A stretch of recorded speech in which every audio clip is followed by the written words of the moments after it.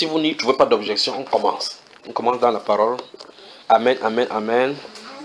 Amen. Y a-t-il des questions?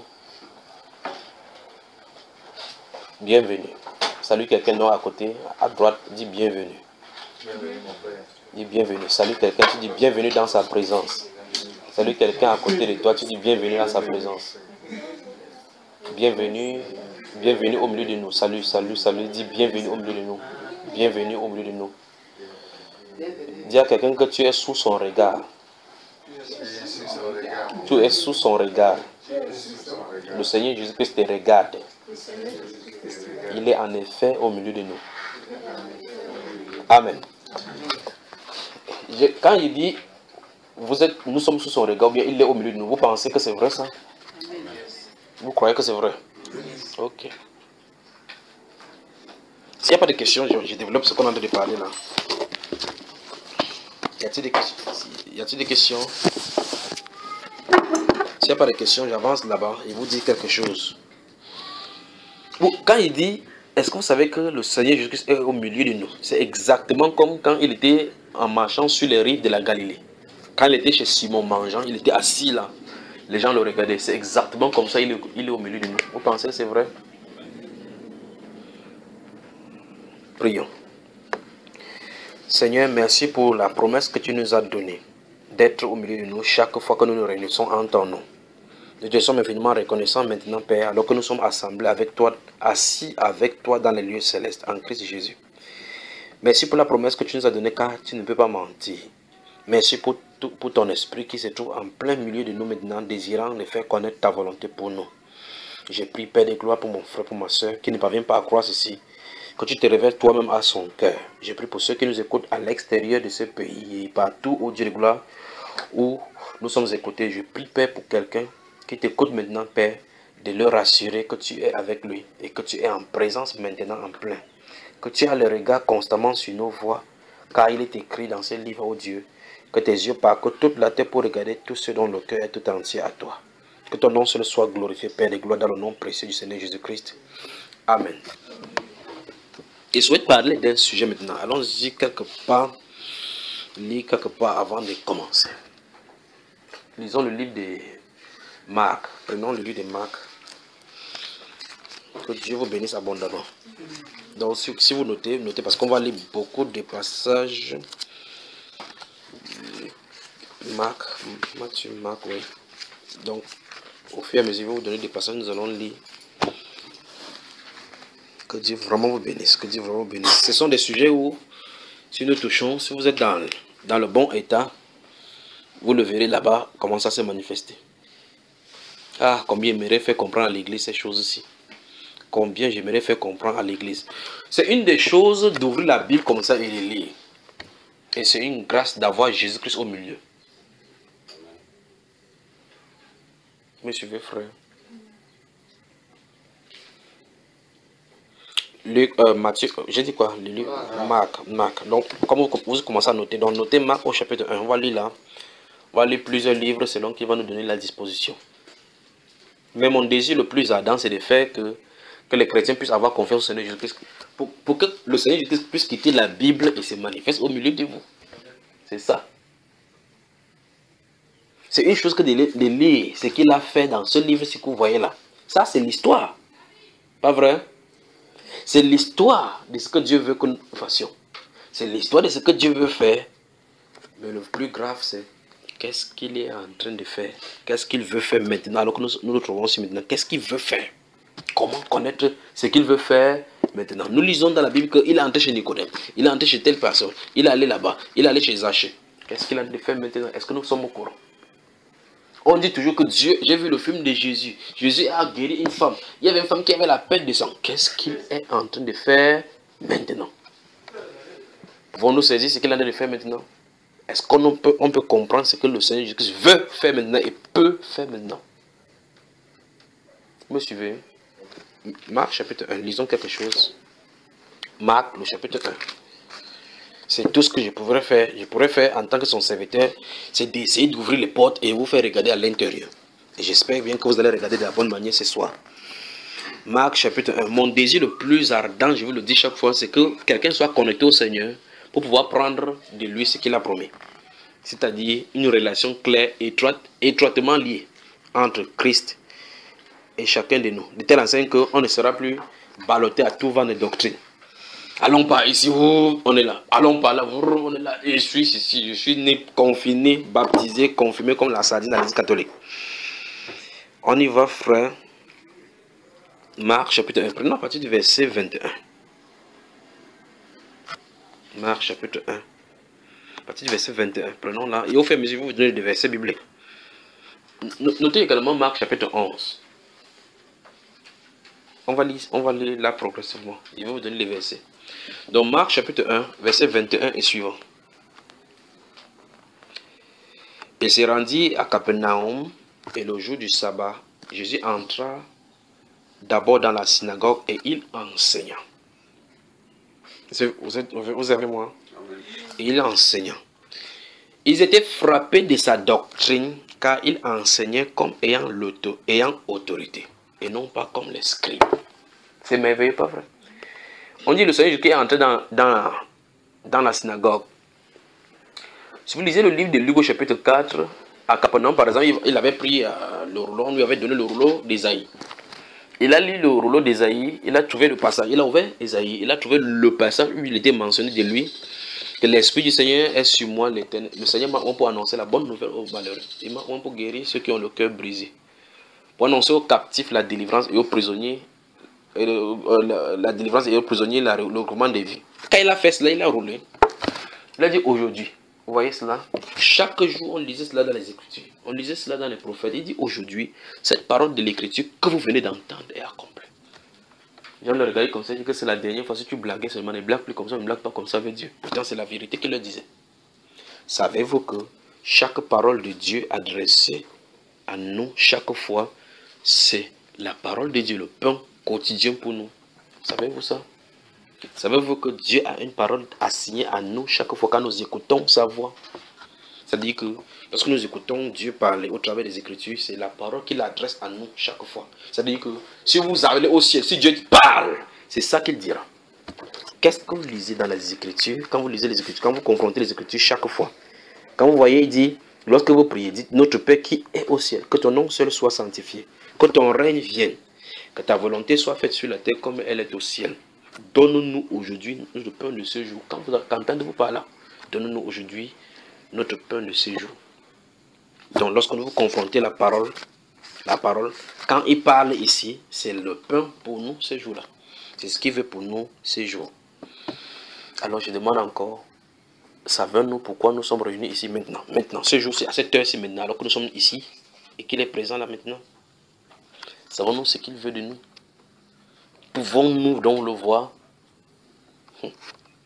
On dit qu'il entra et il, lui a donné le rouleau, il commençait à enseigner. Il a enseigné par comme les gens étaient frappés de sa doctrine. Remarquez bien, frappés de sa doctrine parce qu'il enseignait comme ayant l'autorité, pas comme les scribes. Question comment les scribes enseignaient-ils le peuple? Les scribes étaient versés là, ils disaient. Si vous lisez le livre de Matthieu, chapitre 2, lorsque Jésus est né, ce sont des, des mages qui sont venus dire que où est le, roi des Juifs qui est né. Les scribes se sont regardés entre eux et disent, les scribes, le roi des Juifs qui est né. Vous voyez, on peut avoir la lettre, mais tant que l'esprit qui n'est pas là pour confirmer, vous serez des scribes tout simplement. Souvenez-vous, dans Matthieu 17, lorsqu'il est allé sur la montagne de transfiguration, ses disciples ont vu clairement Élie s'est manifesté là, Moïse s'est manifesté, et lui, ayant été transformé, ils ont commencé à comprendre que quelque chose ne va pas. Vous voyez, tant qu'on n'est pas entré dans la dimension de la vie de l'esprit, vous allez comment on va, continuer à lire comme ça chaque jour comme on lit n'importe où.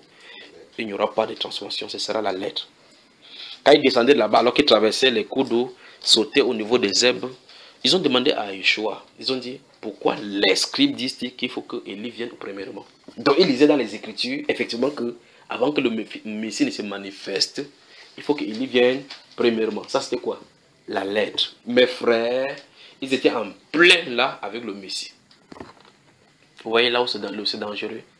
Donc, c'est plus, c'est bien de regarder dans les Écritures ce que Dieu a fait. Hum. Moïse a levé son bâton. La main s'est ouverte. Notre Dieu est grand Dieu. Après, quand tu avances vers quelqu'un pour dire le Seigneur Jésus est le même hier, aujourd'hui, pour toujours. Oui, oui, oui, oui. Il est le même hier, aujourd'hui, pour toujours. On a tué Jésus, oui. Il a dit qu'il reviendra, oui. Est-ce que nous comprenons quand il dit Je suis avec vous tous les jours jusqu'à la fin du monde? Là, c'est difficile d'avaler. Là, c'est vraiment difficile d'avaler. Ou bien on peut dire oui, oui, c'est vrai. Ils disent à Jésus, pourquoi les scribes disent-ils que le Messie doit venir premièrement, que Élie doit venir premièrement?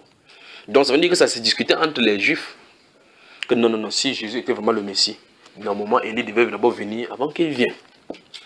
Jésus les a regardés comme ça, il a dit oui, il est, est bien vrai qu'Élie doit venir premièrement pour établir toutes choses. Mais je vous le dis qu'Élie est venu, ils l'ont traité comme selon ce qu'il écrit de lui. Les disciples, la Bible déclare que les disciples ont compris qu'il ne parlait comme ça de qui? Alors la question c'est, comment les scribes qui connaissaient les Écritures que le Christ est censé venir après que Élie soit d'abord là, ont pu rater cela? Pourtant c'est eux qui lisaient. Qu'est-ce que Dieu veut nous faire comprendre là? Souvenez-vous la révélation qui est écrite dans le livre d'Ésaïe au chapitre 8 là verset 11 en descendant, il conclut au verset 12 à 16, il dit enveloppe cette révélation, celle cet oracle parmi mes disciples. Il a voilé. Donc les gens devaient lire sans comprendre. Pourtant, il avait dit que c'était le Dieu du ciel qui devait venir au milieu d'eux. Avant de développer ce soir, j'aimerais bien qu'on regarde ce, que, ce qui est arrivé à ceux-là, pour qu'on sache exactement ce qui arrive à ce jour-ci. Dans les Juifs, lisant les Écritures chaque jour, chaque sabbat, lisant dans les synagogues, allant dans les temples, priant, respectant le livre de Moïse. Mais Jésus se manifestant là, tel que c'est écrit dans les Écritures, eux, ils ne voyaient pas cela se manifester. Alors qu'en est-il de nous aujourd'hui? Oui, Jésus a guéri les malades. Est-ce qu'il est le même hier, aujourd'hui, pour toujours? Son pouvoir a-t-il cessé? Est-il cessé d'être le même hier, aujourd'hui, pour toujours? Ne dit-il pas dans Hébreu 13, 8 que Jésus-Christ est le même hier, aujourd'hui et pour toujours? Est-ce qu'on cite cela tout simplement par citation ou bien on est entré en contact avec lui? Je ne sais pas si vous comprenez les questions que je suis en train de poser. N'a-t-il pas dit dans ce livre de Luc, Matthieu chapitre 18, versets 19 et 20 que là où deux ou trois sont assemblés en mon nom, je suis au milieu? Il a dit cela. Savez-vous donc de façon sûre et certaine que le Dieu du ciel se trouve en notre milieu? Vous y pensez? Vous y croyez? Vous l'avez vu se manifester plusieurs fois au milieu de nous, sans que vous ne le voyez physiquement. Et là, vous savez que c'était lui qui s'est manifesté comme ça. C'est ça, frère? Alors, ça veut dire qu'il faut qu'on avance encore d'un pas. On peut avancer on, on marche ensemble avec lui là. Jésus-Christ se trouvant dans le temple, ouvrant le livre tel que vous avez ouvert pour vous là, devant vous. Il a fini de lire, il a fermé le rouleau, il a dit aujourd'hui cette parole, il dit aujourd'hui cette parole. Parce que l'être humain a cette nature-là d'aimer connaître le passé, afin d'éviter les fautes dans le futur, mais oublie la marche présente. Vous voyez cela? Non, non, non, non. Je suis d'accord qu'on regarde le passé pour regarder les fautes que nous avons faites afin d'éviter. Mais la vraie, difficulté, c'est que on a du mal à voir Dieu dans nos marches quotidiennes. Du mal. C'est le vrai drame là-bas. On espère toujours que dans le futur, Dieu va faire. Dieu dit qu'il veut faire. Me suivez, frère. C'est pour cela que ça faisait la différence entre ce que le Seigneur Jésus-Christ enseignait et ce que les scribes enseignaient. Quand ils entraient dans la synagogue, ils les espéraient toujours que Dieu les envoie le, le Messie. Il était en plein là-dedans. Quel était leur problème? Ils ne savaient pas discerner les temps et les circonstances marquées par l'Esprit. Marquées pour le Messie. Marquées par Dieu. Destinés pour le Messie. Et par conséquent, ils pouvaient rater le temps de leur visitation. Oui, ça c'est eux. Qu'en est-il de nous? Jésus est venu physiquement. On l'a méprisé comme il était écrit de lui, crucifié. Il a ressuscité trois jours après. Il a apparu à plusieurs personnes pendant 40 jours. Après, il a été élevé par la droite de Dieu et assis à la droite de la majesté divine. Maintenant, qu'est-ce qui est prévu dans la Bible durant l'époque où il sera ressuscité? Jusqu'au moment où il reviendra Qu'est-ce qui est prévu? N'est-il pas prévu ici? Que ces époques-là seront marquées, seront appelées les derniers jours C'est prévu donc qu'au dernier jour, je répandrai de mon esprit sur toute chair. C'est écrit, frère. Vos fils et vos filles prophétiseront. Voilà l'une des choses qui est la marque de cette époque. Vos fils et vos filles prophétiseront. Vos jeunes gens auront des visions. Oui, sur mes serviteurs et sur mes servants en ce jour-là, je verserai mon esprit et ils encore et ils La question c'est pourquoi avons-nous des difficultés à vivre cela? S'il est vraiment vrai que le Seigneur Jésus a dit, lorsque je serai élevé, avait-il été élevé? J'attirerai tous les hommes vers moi. Qu'est-ce qui ne va pas? La Bible déclare dans Ephésiens chapitre 4, celui qui est descendu, c'est le même qui est monté, afin de remplir tout en tous. Et celui qui est monté, il a fait les dons aux hommes, n'est-ce pas? Il a fait les uns comme apôtres. Il a fait, pas qu'il va faire. Il a fait. Les uns comme apôtres, comme prophète, comme docteur, évangéliste, pasteur, pour le but pour lequel il a fait cela, pour le perfectionnement des saints en vue de l'œuvre du ministère. Afin que nous ne soyons pas ballottés à tout vent. Mais aujourd'hui, en 2000, 2001, 2002, 2000, jusqu'en 2016, on voit toujours les chrétiens balloter à tout vent de doctrine. Pourtant, il a fait. La question c'est qu'est-ce qui ne va pas? Avons-nous compris la dispensation dans laquelle nous vivons? Savons-nous ce que le Seigneur veut que nous faisons maintenant?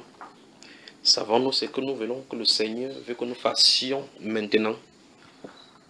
Sommes-nous au courant de ce que le Seigneur a entrepris de faire en notre jour Savons-nous ce qu'il est en train de faire ou ce qu'il veut faire?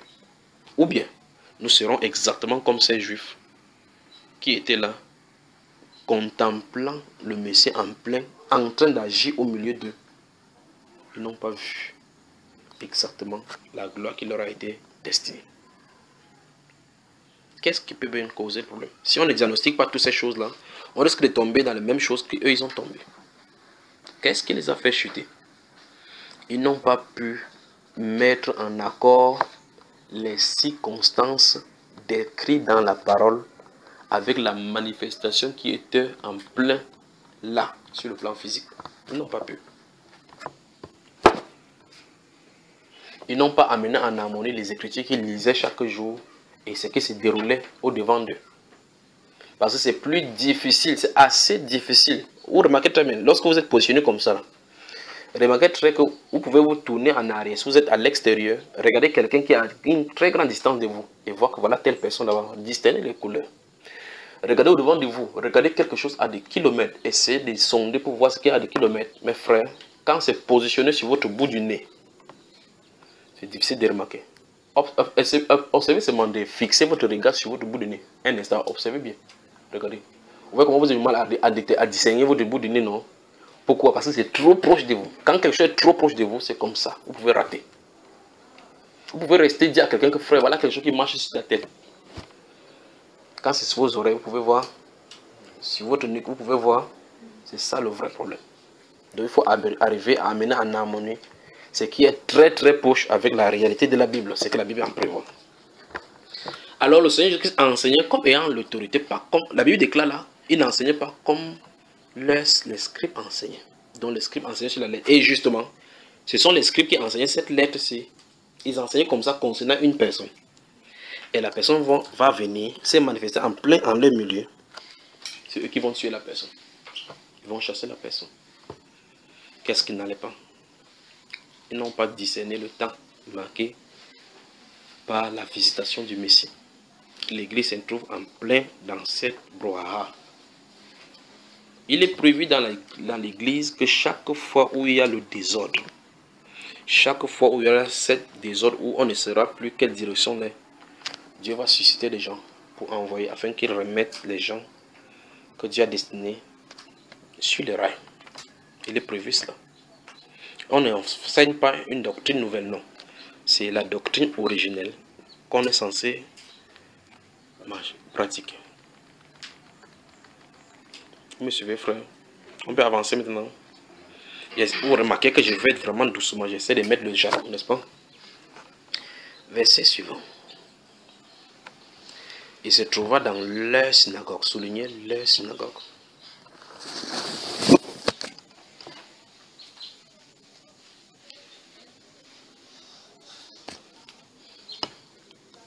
On y va.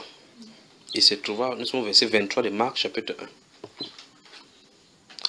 se trouva dans leur synagogue un homme qui avait un esprit impur et qui s'écria. Ça pose problème ici. Je me, force de m'arrêter doucement, parler doucement depuis le début parce que c'est ce qu'on va confronter là tout à l'heure. Je ne sais pas quels sont les versets que nous allons lire, mais c'est tout simplement ce qui est. Je peux ressentir tout simplement cela devant. Remarquez que la Bible déclare qu'il entra dans les synagogues, il a commencé à enseigner il n'enseignait pas, son enseignement était différent, parce que son enseignement regorgeait de l'autorité. Différent de l'enseignement des scribes. Puis on dit au verset 23, il se trouva dans leur synagogue. Le Seigneur Jésus est venu dans cette synagogue où c'est quelqu'un qui s'y trouvait avait un esprit impur. L'esprit impur s'est écrié. Qu'y a-t-il entre nous et toi? Jésus de Nazareth, tu es venu pour nous perdre. Je sais qui tu es, le Saint de Dieu. Les démons le connaissaient. Ce qui est bon, c'est que on remarque que tant qu'on enseigne sans autorité spirituelle, ça ne fait rien aux démons. Vous voyez enseigner sur les dîmes, enseigner sur les principes spirituels de connaître Dieu n'importe comment. S'il n'y a pas l'esprit derrière, vous vous trompez. La preuve, la majorité des gens qui sont conscients du péché, qui sont conscients, qui sont possédés, ce sont les chrétiens aujourd'hui. Pas vrai? Pas ça, mes chers. Les démoniaques, les mondains, d'abord, ils sont posés sans savoir. Mais ceux qui sont aiguisés dans cela, ce sont les chrétiens. Beaucoup sont ignorants. Mais regardez, voici quelqu'un qui assisté au culte chaque fois à la synagogue. Certainement, il paye ses dîmes. Pas vrai la Bible déclare qu'il se trouva dans leur synagogue quelqu'un qui avait un esprit impur. Donc il paye ses dîmes avec l'esprit impur. Pratique la loi de Moïse avec un esprit impur. Va à la synagogue et assujet avec, avec un esprit jusqu'à ce qu'une puissance étrangère vienne confronter. Alors vous êtes sûr, chaque fois vous voyez, vous savez quand il prêche pour ceux qui viennent de soin là-bas de l'autre côté, je dis, ne participez pas ne, ne communiez pas avec les mauvais esprits. Il dit qu'il y a quelqu'un ici au milieu de nous qui est comme ça. Après, vous voyez, lève-toi Il se lève, et vous voyez la chose se manifester. Pourtant, la personne chante chaque fois. Pas vrai, frère? Lis la Bible. Tu lis la Bible avec, avec qui? Quand tu lis la Bible, tu dis que hey, j'ai j'ai prié fort, fort. Tu pries comme ça. Quand la sueur coule sur toi, comme ça, elle coule sur moi, ça ne coule pas sur le démon, c'est sur toi que ça coule. Il est là, ça ne dérange pas. Ce n'est que la puissance de l'autorité divine qui peut le confronter de là. La Bible ne dit pas ici que Jésus a prié pour chasser les démons on dit qu'il enseignait comme ayant l'autorité.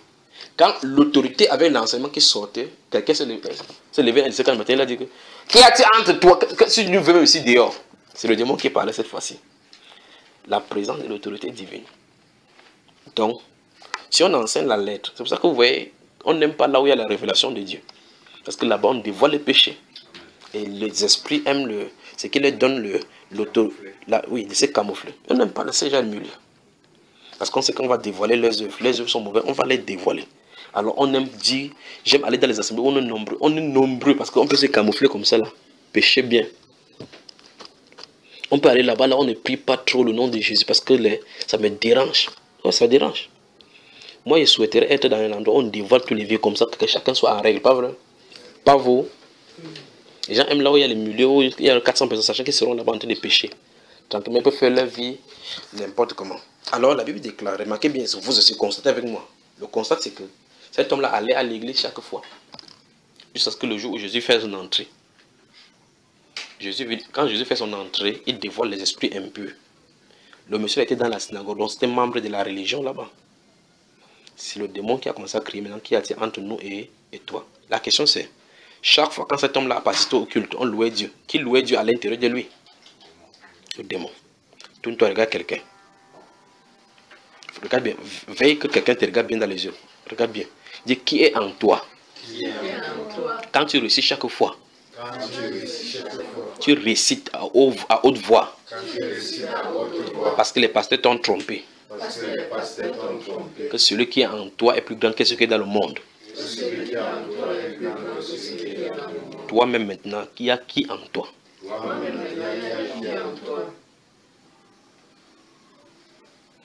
Parce que les démons sont cassés par catégorie. Si je dis celui qui est en toi est plus grand que celui dans le monde, ça veut dire que peut-être tu n'as pas de démons plus grand que les démons qui sont dans le monde.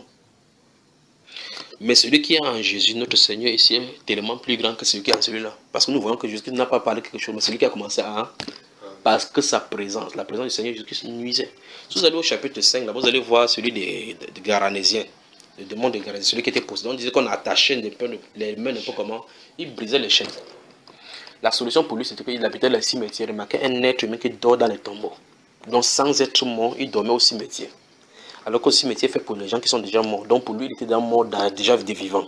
Pour que le jour où il meurt, on creuse encore la tombe pour l'enterrer là-bas. Vous voyez comment cette personne peut avoir souffert. La Bible déclare que dans la route où il était, personne ne passait pas par là-bas. Parce que quand on passe là-bas, on savait qu'il devait jeter les cailloux. Donc, les êtres humains étaient limités. Ils ne pouvaient plus rien faire pour l'aider. La Bible déclare quand le Seigneur est sorti du bateau, il a déposé les pieds au sol. Celui-là est sorti du tombeau pour venir vers lui. Qui a-t-il entre toi? Et crié Je sais qui tu es, le Fils du Dieu très haut. Est-ce que est allé prêcher là-bas? Sa présence est attirée pour délivrer. Donc, la présence du Seigneur Jésus-Christ, la Bible déclare dans 2 Corinthiens chapitre 3, verset 16, que là où il y a l'Esprit du Seigneur, là est la liberté. Monsieur, donc, on a besoin de la présence de l'Esprit du Seigneur au milieu de l'Église. Dire même qu'il y a une église sans esprit du Seigneur, c'est un problème. Parce que devant l'église, il a dit c'est lui qui bâtira son église. Parce que normalement, si c'est lui qui bâtit son église, il doit bâtir son église, ce n'est pas l'esprit qui bâtit l'église.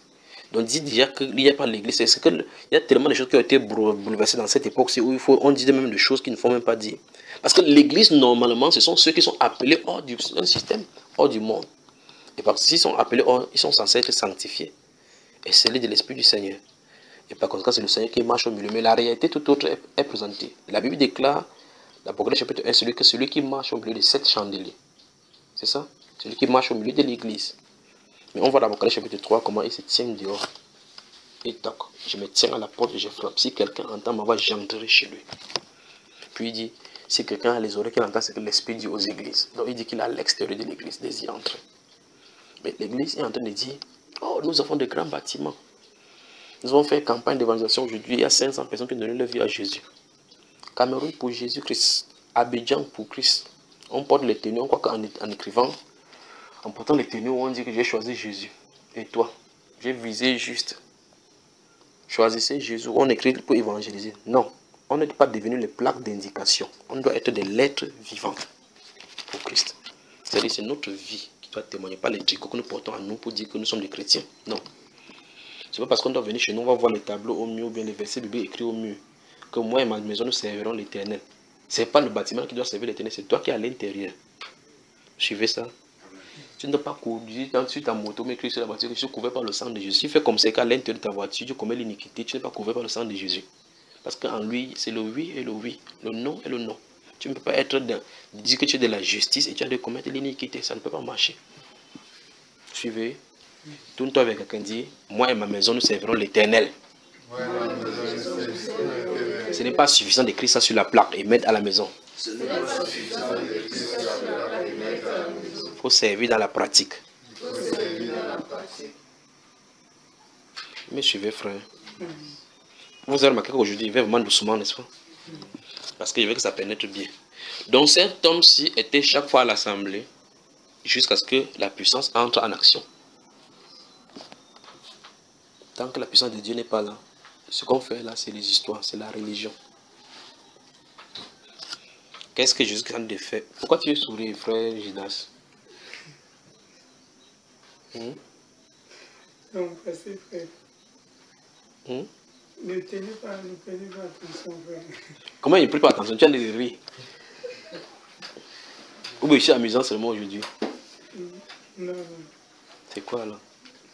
Ou bien je dois pas dire des choses comme ça. Non, c'est pas ça. Non, c'est juste pour... Tu es dépassé par les événements Non, c'est pas ça, frère. C'est juste pour la maison. Juste pour ça. Quelle maison? Tu as aussi écrit ton mieux que toi, toi et ta maison vous servir l'éternel. Mm. Vous entendez chez les frères, quand, quand ils parlent, vous riez. Vous allez chez dans les foyers chrétiens, vous voyez ça en gros caractère, mais la bagarre qu'il y a dans la maison là-bas, les insultes qu'il y a à la maison là-bas. Quand tu regardes le mur, tu vois, moi et ma maison, c'est l'éternel. Tu vois l'action qui se passe là-bas, c'est autre problème. Tu vois, tu viens chez quelqu'un, tu vois, femme, soyez soumis à votre mari là-bas, comme au Seigneur. Tu vois, quand, tu restes là, tu observes, la femme tape la porte comme ça devant le mari. Tu vois, c'est écrit là-bas, femme, soyez soumis au Seigneur. Qu'est-ce qu'on doit faire, frère? On doit préciser ces choses, faut que les gens prennent conscience. Jusque-là, ils ont d'aller doucement. On arrive quelque part. Ils sont ça venir. C'est l'eau comme l'eau qui a découlé. D'accord? Alors la présence du Seigneur Jésus-Christ apporte la liberté. N'est-ce pas? Mm. Notre prière, c'est que le Seigneur entre au milieu de l'assemblée. Parce que s'il entre au milieu de l'assemblée, les choses qui sont cachées, remarquez bien que cette personne-ci qui était avec l'esprit impur, si le Seigneur ne venait pas, il serait là avec l'esprit impur, qu'il mourrait avec l'esprit impur. Mais le problème, c'est qu'il irait dans le lieu de culte, croyant qu'il a des services qui. La Bible déclare que si le Fils vous affranchit, vous serez réellement libre. Donc, chacun de nous devait prier seulement Seigneur, s'il y a des démons en moi qui peuvent m'empêcher de marcher comme avec toi, daigne enlever, daigne exposer. C'est la prière qu'on doit faire là-dedans. Parce qu'on a tamponné beaucoup de choses ici après, tu viens au milieu de l'église, tu te restes tu crois que, as pas, que, ça, que, tu vas, que tu es bien. Avançons aussi, continuons. Verset 23, il dit Il se trouva dans leur synagogue un homme qui avait un esprit impur et qui s'écria. Vous avez vu, cet homme qui s'écria Qu'y a-t-il entre nous et toi, Jésus de Nazareth Tu es venu pour nous perdre. Donc les démons connaissent la mission de Jésus. Il est venu pour faire perdre des démons. Je sais qui tu es, le Saint de Dieu. Jésus le menaça disant Tais-toi et sors de cet homme. Vous avez vu ça? C'est merveilleux. L'esprit impur sortit de cet homme en l'agitant avec violence et en poussant un grand cri. Je ne sais pas si ça va me laisser aujourd'hui, mais je permettez-moi de dire encore quelque chose sur ce verset. Vous allez voir dans les rassemblements dits chrétiens aujourd'hui. On prie les filles sont au sol, ils prient, on dit qu'ils ont reçu le baptême du Saint-Esprit. Et c'est les démons qui sont écrits. Regardez bien. Verset 25. Jésus le menaça disant Tais-toi et sors de cet homme. Et l'esprit impur sortit de cet homme en l'agitant avec violence et en poussant un grand cri. Quand ça tombe aujourd'hui, au lieu de qu'on cherche les démons, les gens disent que c'est le baptême Saint-Esprit, les, esprits se confortent encore sur des chrétiens. Quand il revient en net, tous furent saisis, verset 27, tous furent saisis de stupéfaction de sorte qu'ils se demandaient les uns aux autres, qu'est-ce que ceci? Une nouvelle doctrine? Ils commandent avec autorité même aux esprits peu et ils lui obéissent? Ils étaient étonnés, vous avez vu ça? C'est terrible. Et sa renommée s'est répandue aussitôt dans tous les lieux environnants de la Galilée. Puis le Seigneur Jésus est venu ajouter la bénédiction à la lecture de sa parole. Et puisse nous guider vraiment maintenant. Continuons le verset 29. En sortant de la synagogue, il s'est rendu avec Jacques et Jean à la maison de Simon et André. La belle-mère de Simon était couchée, ayant la fièvre, et aussitôt on parla d'elle à Yeshua, à Jésus. S'étant approché, il la fit lever en lui prenant la main, et à l'instant, la fièvre la quitta puis elle les servit. On a vu, on a vu un démoniaque qui est à l'église. On a vu quelqu'un qui est en relation, la belle-mère de Pierre. Donc ça n'est pas parce que tu as épousé la femme d'un prophète, ou bien le prophète, que la maladie va te laisser jamais. On, peut, il dit c'est plein dans la on peut avancer comme ça. Là. Pas parce que tu es proche. Regardez, enfin, son propre ami, même Lazare, lui-même son ami intime, l'une de la l'une des personnes de la Bible, qu'on dit son ami était malade, il a laissé qu'il meure. C'est ça, frère? Donc avançons. Verset 32. Le soir, après le coucher du soleil, on lui amena tous les malades et les démoniaques. Si le Seigneur n'est pas là, franchement, l'humanité est perdue, je vous le dis. Si le Seigneur Jésus n'intervient pas, l'humanité est perdue. Et toute la ville était rassemblée devant sa porte. Vous avez vu ça? Imaginez comment il est. Il guérit beaucoup de gens qui avaient diverses maladies. Il chassa aussi beaucoup de démons et il ne permettait pas aux démons de parler parce qu'il le connaissait. Le Seigneur ne voulait pas que ce soit le démon qui dévoile qui est. Il voulait que les gens puissent reconnaître que les œuvres que je fais rendent témoignage de ce que je suis censé être. D'accord? Vers le matin, pendant qu'il faisait encore très sombre, il se leva et sortit pour aller dans un lieu désert où il pria. D'accord? Voilà. Simon et ceux qui étaient avec lui s'est mis à sa recherche. Et quand il l'eut trouvé, il lui, il lui dit, tous te cherchent. Vous avez vu ça? Souligné, tous te cherchent.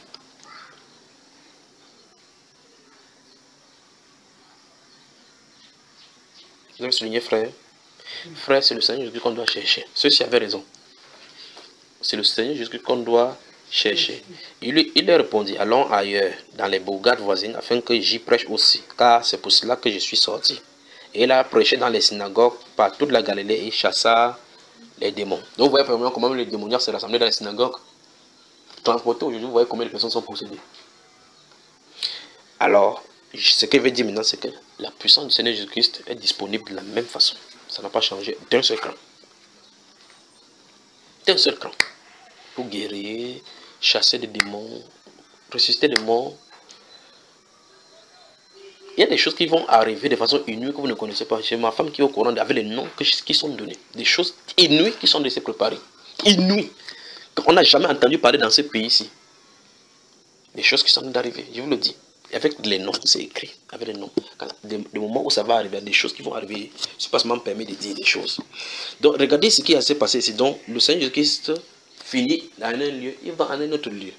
Et c'est la même chose qui se manifeste. Il dit, il est arrivé là-bas, il a guéri les malades, ressuscité les morts. C'est pas tous comme ça dans la Bible. Pas vrai? La Bible déclare qu'il est le même hier, aujourd'hui et pour toujours. Maintenant, certaines factions des chrétiens se sont levées. Parce que le faux est arrivé. Parce que le Seigneur Jésus lui-même avait dit plus dans ce Matthieu chapitre 7, plusieurs me diront à la fin du temps que nous n'avons pas guéri les malades, nous n'avons pas chassé les démons en ton nom, nous n'avons pas fait ceci prophétiser. Et il ne vous a jamais connu. Le Seigneur Jésus n'a pas dit qu'il n'y aura pas de guérison. Il n'a pas dit qu'il y aura les faux prophètes seulement. Il n'a pas dit qu'il n'y aura plus de prophéties, non. Il a dit que plusieurs me diront qu'ils ont fait ça. Je vous dirai, je ne vous ai jamais connu.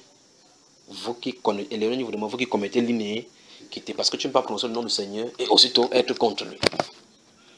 Vous voyez Il a dit dans ce Matthieu 24, là, il a dit que plusieurs faux prophètes se lèveront. Il n'a pas dit que tous seront les faux prophètes. Il a dit que plusieurs faux prophètes se lèveront. Donc c'est prévu que dans la fin du temps, enfin c'est normal qu'il y ait, pas avoir de faux sans vrai, parce qu'il faut que le faux soit copié du vrai. Donc c'est prévu que les vrais soient toujours là. L'apôtre Pierre dans 2 chapitre 2 a dit, il y a eu dans le passé, il y a eu parmi le peuple de faux prophètes, il y aura parmi vous de faux docteurs. Vous voyez qui introduiront le secte pernicieuse. Or, eux, ils sont des docteurs de l'Église. Vous voyez Dans les enseignants. Et ça ne veut pas dire qu'il n'y aura plus des enseignants, que tous les enseignants de la Bible seront des faux enseignants. Il y aura des faux.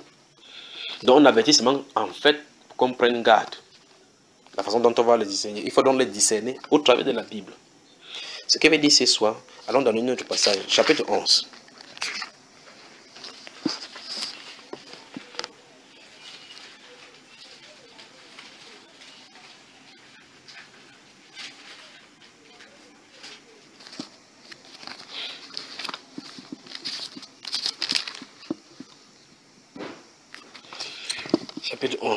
Luc chapitre 13.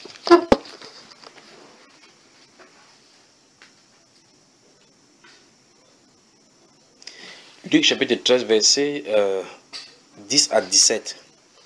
Après, on va y aller. Luc chapitre 13, verset 10 à 17. Vous avez noté Jean, maintenant. Jean. Que Dieu vous bénisse. Chapitre 14, versets 13 et 14. Chapitre 15 aussi, verset 7.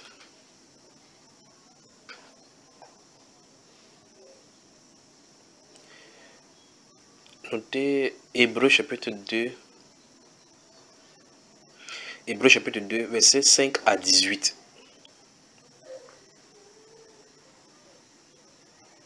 Chapitre 4, verset 14 à 16.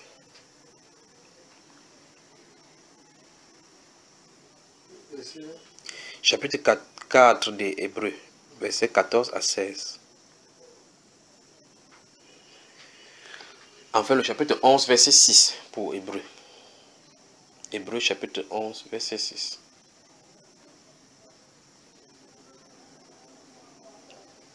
Matthieu chapitre 18.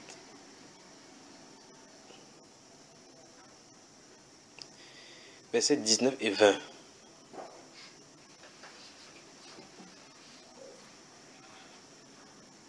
Puis maintenant Matthieu chapitre 21, verset 18 à 22. Matthieu chapitre 21. Verset 18 à 22. Pour l'instant, nous lisons Marc chapitre 11.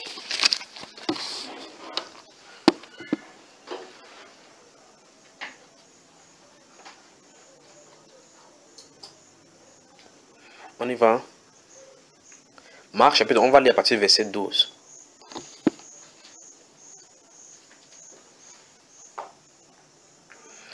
Le lendemain, après qu'il fut sorti de Bethanie, Jésus eut faim. Apercevant de loin un figuier qui avait des feuilles, il alla voir s'il y trouverait quelque chose, et s'en étant approché, il ne trouva que des feuilles, car ce, n'était pas la saison des figues. Ça, c'est un autre sujet où il va parler, ce n'était pas la saison des figues. Prenant alors la parole, il lui dit que jamais personne ne mange de ton fruit, et ses disciples l'entendirent. Ils arrivaient à Jérusalem, et Jésus entra dans le temple. Il se mit à chasser ceux qui vendaient et qui achetaient dans le temple. Aujourd'hui, il a chassé là, à ce moment-là. Aujourd'hui, ils sont encore entrés dans le temple. Ils vendent maintenant plus que c'est grave seulement. Il renversa les tables des changeurs et les sièges des vendeurs de pigeons. Aujourd'hui, ils vendent plutôt le livre maintenant. Et il ne, laissait, il ne laissait personne transporter aucun objet à travers le temple. Et aujourd'hui, c'est même le folerie qu'on transporte distribué. Et il enseignait et il disait, n'est-il pas écrit, ma maison sera appelée une maison de prière pour toutes les nations. Mais vous, vous en avez fait une caverne de voleurs. Vous avez vu ça, frère Continuons. Souvenez-vous de ce qui est arrivé au verset 13 là-bas. Les principaux sacrificateurs et les scribes, l'ayant entendu, cherchaient les moyens de, faire, de le faire périr car ils le craignaient parce que toute la foule était frappée de sa doctrine. Quand le soir fut venu, quand le soir fut venu, Jésus sortit de la ville. Verset 20 maintenant, écoutez attentivement. Le matin en passant, les disciples virent le figuier séché jusqu'aux racines. Pierre se rappelant ce qui s'était passé, dit à Jésus, Rabbi, regarde, le figuier que tu as maudit a séché. Jésus prit la parole et leur dit, Ayez foi en Dieu. Ayez foi en Dieu. Je vous le dis en vérité. Si quelqu'un dit à cette montagne, ôte-toi de là et jette-toi dans la mer, et s'il ne doute point en son cœur, mais croit que ce qu'il dit arrive, il le verra s'accomplir. C'est merveilleux maintenant, il peut, il prêcher maintenant toute l'année maintenant. C'est seulement merveilleux. La parole, vous savez, la parole bouge mon âme à l'intérieur comme ça. Il le verra s'accomplir. Ah, il me sens vraiment bien là maintenant. Regardez, regardez. Je vais parler d'un sujet maintenant. Croire Dieu nonobstant les circonstances. Quelles qu'en soient les circonstances, croire Dieu. Avoir foi en Dieu, quelles qu'en soient les circonstances. Avoir foi en Dieu. C'est de ça dont je vais parler maintenant. Souvenez-vous de là on a commencé. Maintenant, je peux vraiment prêcher là maintenant. Il me sens vraiment bien. Alors, le Seigneur Jésus dit ici, dans ce verset 23, il dit, je vous le dis en vérité, si quelqu'un dit à cette montagne, ôte-toi de là et jette-toi dans la mer, et s'il ne doute point en son cœur, mais croit que ce qu'il dit arrive, il le verra s'accomplir. Tout à l'heure, en développant, je pose la question, est-ce que nous, nous regardons le passé, nous voyons Dieu a fait des choses, dans le futur, il va faire des choses, mais qu'est-ce qu'il a de faire maintenant? Quel est le vrai problème? Qu'est-ce qui ne va pas? C'est en fait parce que notre cœur n'est pas ancré dans la confiance en Dieu. Donc, le vrai problème, c'est là. Parce qu'il a dit, si quelqu'un croit, il verra, pas vrai? Maintenant, regardons. Il dit, s'il ne doute point en son cœur, mais croit que ce qu'il dit arrive, il le verra s'accomplir. Puis il dit, c'est pourquoi je vous dis, tout ce que vous demanderez en priant, croyez que vous le recevrez.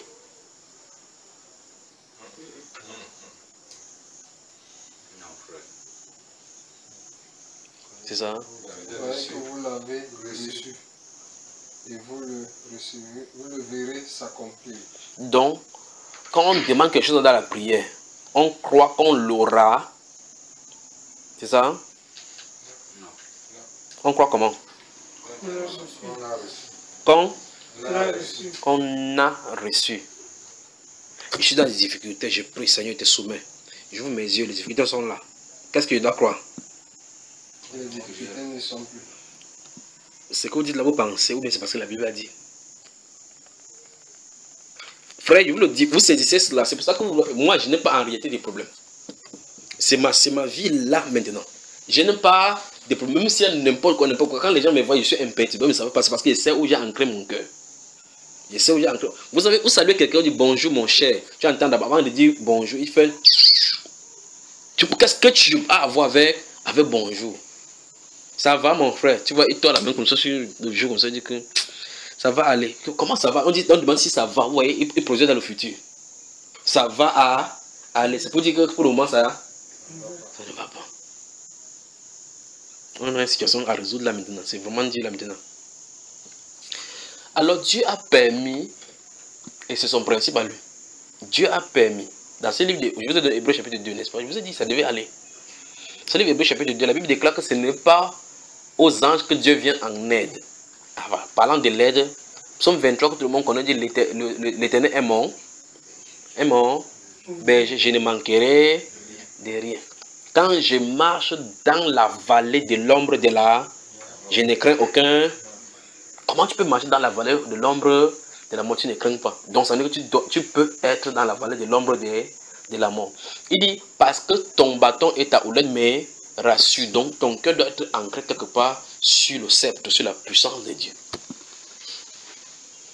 Vous voyez, David dans ce psaume 18, verset 4, il dit que je m'écris, loué soit l'éternel et je suis délivré de mes ennemis. C'est-à-dire quoi, je m'écris, loué soit l'éternel. C'est-à-dire que j'ai des ennemis, je me concentre pas sur les ennemis, je me concentre sur la louange de Dieu.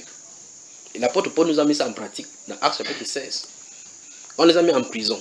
Ils ont commencé à dire que je, brise les verrous de prison, je tue les juges qui vont juger, frappe d'aveuglement mes ennemis. Non. On dit qu'ils louaient, ils chantaient, ils louaient, ils chantaient les louanges de Dieu. Tout à coup, les fondements de la prison sont ébranlés, ça, a- ça a cassé. Pas vrai? C'est ça que Psaume 18, verset 4 dit. Je me crie, loué soit l'éternel et je suis délivré de mes ennemis. Vous voyez ça, frère J'ai dit que c'est ma vie ici, là, maintenant. Où il y a n'importe quelle situation, tu restes tranquille parce que tu sais qu'est-ce qu'il y a là-bas. Oh, oh, demande ton voisin, tu te plains. Demande ton voisin. Tu, tu te plains, après quand tu finis. Regarde quelqu'un dit, quand tu te plains là, après t'être plaint, là, ça, résout le problème. Si tu as faim là, quelqu'un te salue, tu après tu manges.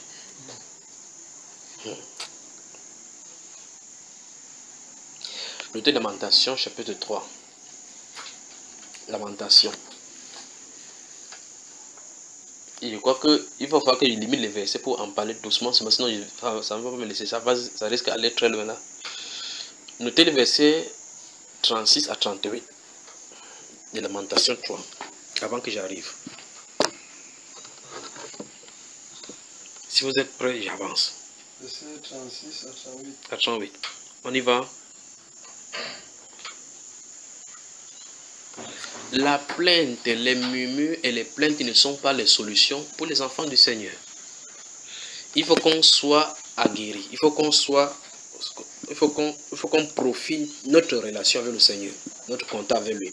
C'est notre contact avec lui qui cause donc cette chose. C'est ce que je suis en maintenant la- la- l'assurance du cœur. Il faut que quelque chose se passe dans notre cœur, un contact, une expérience se passe dans notre vie avec le Seigneur. Telle enseigne que ça nous donne de l'assurance avec lui. Si vous entendez seulement le Dieu des scribes, quand il pas de Dieu des scribes, c'est-à-dire que le Dieu on prêche que je sais que Jésus est venu des morts pour nous. Je sais que je sais que je sais que vous n'aurez pas match quand il y aura des difficultés. Ça ne résout pas le problème quand vous aurez des difficultés. Mais si le Seigneur qui se manifeste à toi, par expérience, tu saurais en qui tu as, tu as cru. Alors maintenant, quand il y a n'importe quelle difficulté, tu sauras effectivement que si je l'invoque, il est là. Me suivez, frère. Crois Dieu. Crois Dieu, quelles qu'en soient les circonstances. Et justement, les circonstances, les difficultés, en tant que croyant, les difficultés et les circonstances qui sont devant nos yeux, dans nos vies, ne sont pas là pour nous tuer, quel qu'en soit le niveau. Il y a des gens qui passent par les dettes où tu vois quelqu'un comme ça, il ne sait pas, il ne peut plus sortir le matin. Pourquoi? Parce qu'il a les dettes. Dieu peut résoudre ces problèmes-là, si tu crois. D'autres, c'est la maladie, où le docteur a dit que ici, c'est le dernier. Va prépare les, les, vous appelez quoi le le, testament. C'est l'homme qui a dit ça, c'est pas ce que Dieu a dit. Prenez le temps de lire Exode chapitre 23, chapitre 22 et 23. Regardez ce qu'il a dit là-bas quand les Juifs mettraient en pratique la parole. Ce qu'il a dit. Il, va dire, il a dit il sera, l'ennemi de tes ennemis. Donc quand quelqu'un se lève contre toi, il se lève contre Dieu. Et Dieu nous a prouvé ça à plusieurs reprises dans la Bible, qu'il est digne de confiance. Le Seigneur Jésus prend ici, dit, si vous, ne, vous demandez n'importe quoi, vous ne doutez pas, vous croyez que ce que vous avez demandé arrive, vous le verrez accompli tel que vous avez demandé. Donc, prier sans douter égale avoir la chose sans voir. Prier sans douter égale avoir la chose sans voir. Avoir. Vous possédez la chose sans voir. Il y a des choses comme ça qu'il faut qu'on passe à la pratique, vraiment, la pratique comme ça. Et vous voyez la chose. je voulais toucher un domaine, le domaine de la possession démoniaque et le domaine de la guérison, maintenant. Verset 24, c'est pourquoi je vous dis tout ce que vous demanderez en priant. Croyez que vous l'avez reçu. Le vrai problème des chrétiens ne se trouve pas dans le premier volet. Ah, c'est pour prier, hein. chacun bombarde de toutes ses façons. De toutes les énergies. Il y a des stratégies pour bombarder. D'autres prient comme ça en pleurant, en criant. Waouh, waouh, waouh, waouh, C'est pas le problème là-bas. Tout le monde peut prier d'une façon ou d'une autre. Il y a des gens qui peuvent prier sans ouvrir la bouche, mais ils prient véritablement plus que quelqu'un qui crie à tue-tête. C'est le deuxième volet là qui pose problème. Et c'est ce deuxième volet que je veux que nous travaillions, frère. Vous voyez cela? Le deuxième volet dit quoi? 1, 2, 3, les hommes. Oui, allons-y. Voilà. Voilà. Donc le deuxième volet, c'est ça qui pose problème. Il a dit tout ce que vous demanderez en priant. Ça, c'est clair qu'on demande chaque jour à Dieu. Oh Seigneur, aide mon Père. Oh Seigneur, donne-moi quelque chose. Oh Seigneur, donne-moi. Oh Seigneur, donne-moi. Oh Seigneur. Oh, oh, oh. Tout le monde prie, c'est pas vrai? C'est le deuxième volet qui cause problème à nous chrétiens. C'est croire qu'on l'a reçu. Ça le problème, pas vrai, frère? Croire que l'on l'a reçu. Une situation, un test pour savoir que vous, vous, vous n'avez pas cru que vous avez reçu, c'est quand vous vous plaignez encore de la même situation la prochaine fois. Voici, c'est aussi simple que possible. Je vais prendre un exemple simple, n'est-ce pas? Vous avez une difficulté que vous allez résoudre demain matin. Le matin, vous priez. Vous finissez prier, Seigneur. On prend quel exemple là maintenant? Peut-être vous avez une maladie, un enfant qui est malade, Seigneur. Oh, je te présente la situation de mon fille, de mon enfant qui est malade. Et prie Père que tu la guéris. Normalement, normalement, c'est merci Seigneur parce que tu as exaucé en prière. Et par conséquent, merci qu'elle est guérie. La fille tenue debout. Ah, tu venais prier. Deux minutes après, elle se couche plutôt. Ah, ah, ah, tu dis, hey, tu vas tomber là. La chaise là, ça, ça tente de glisser. Il faut mettre, prendre l'une là, tu mets dans l'autre.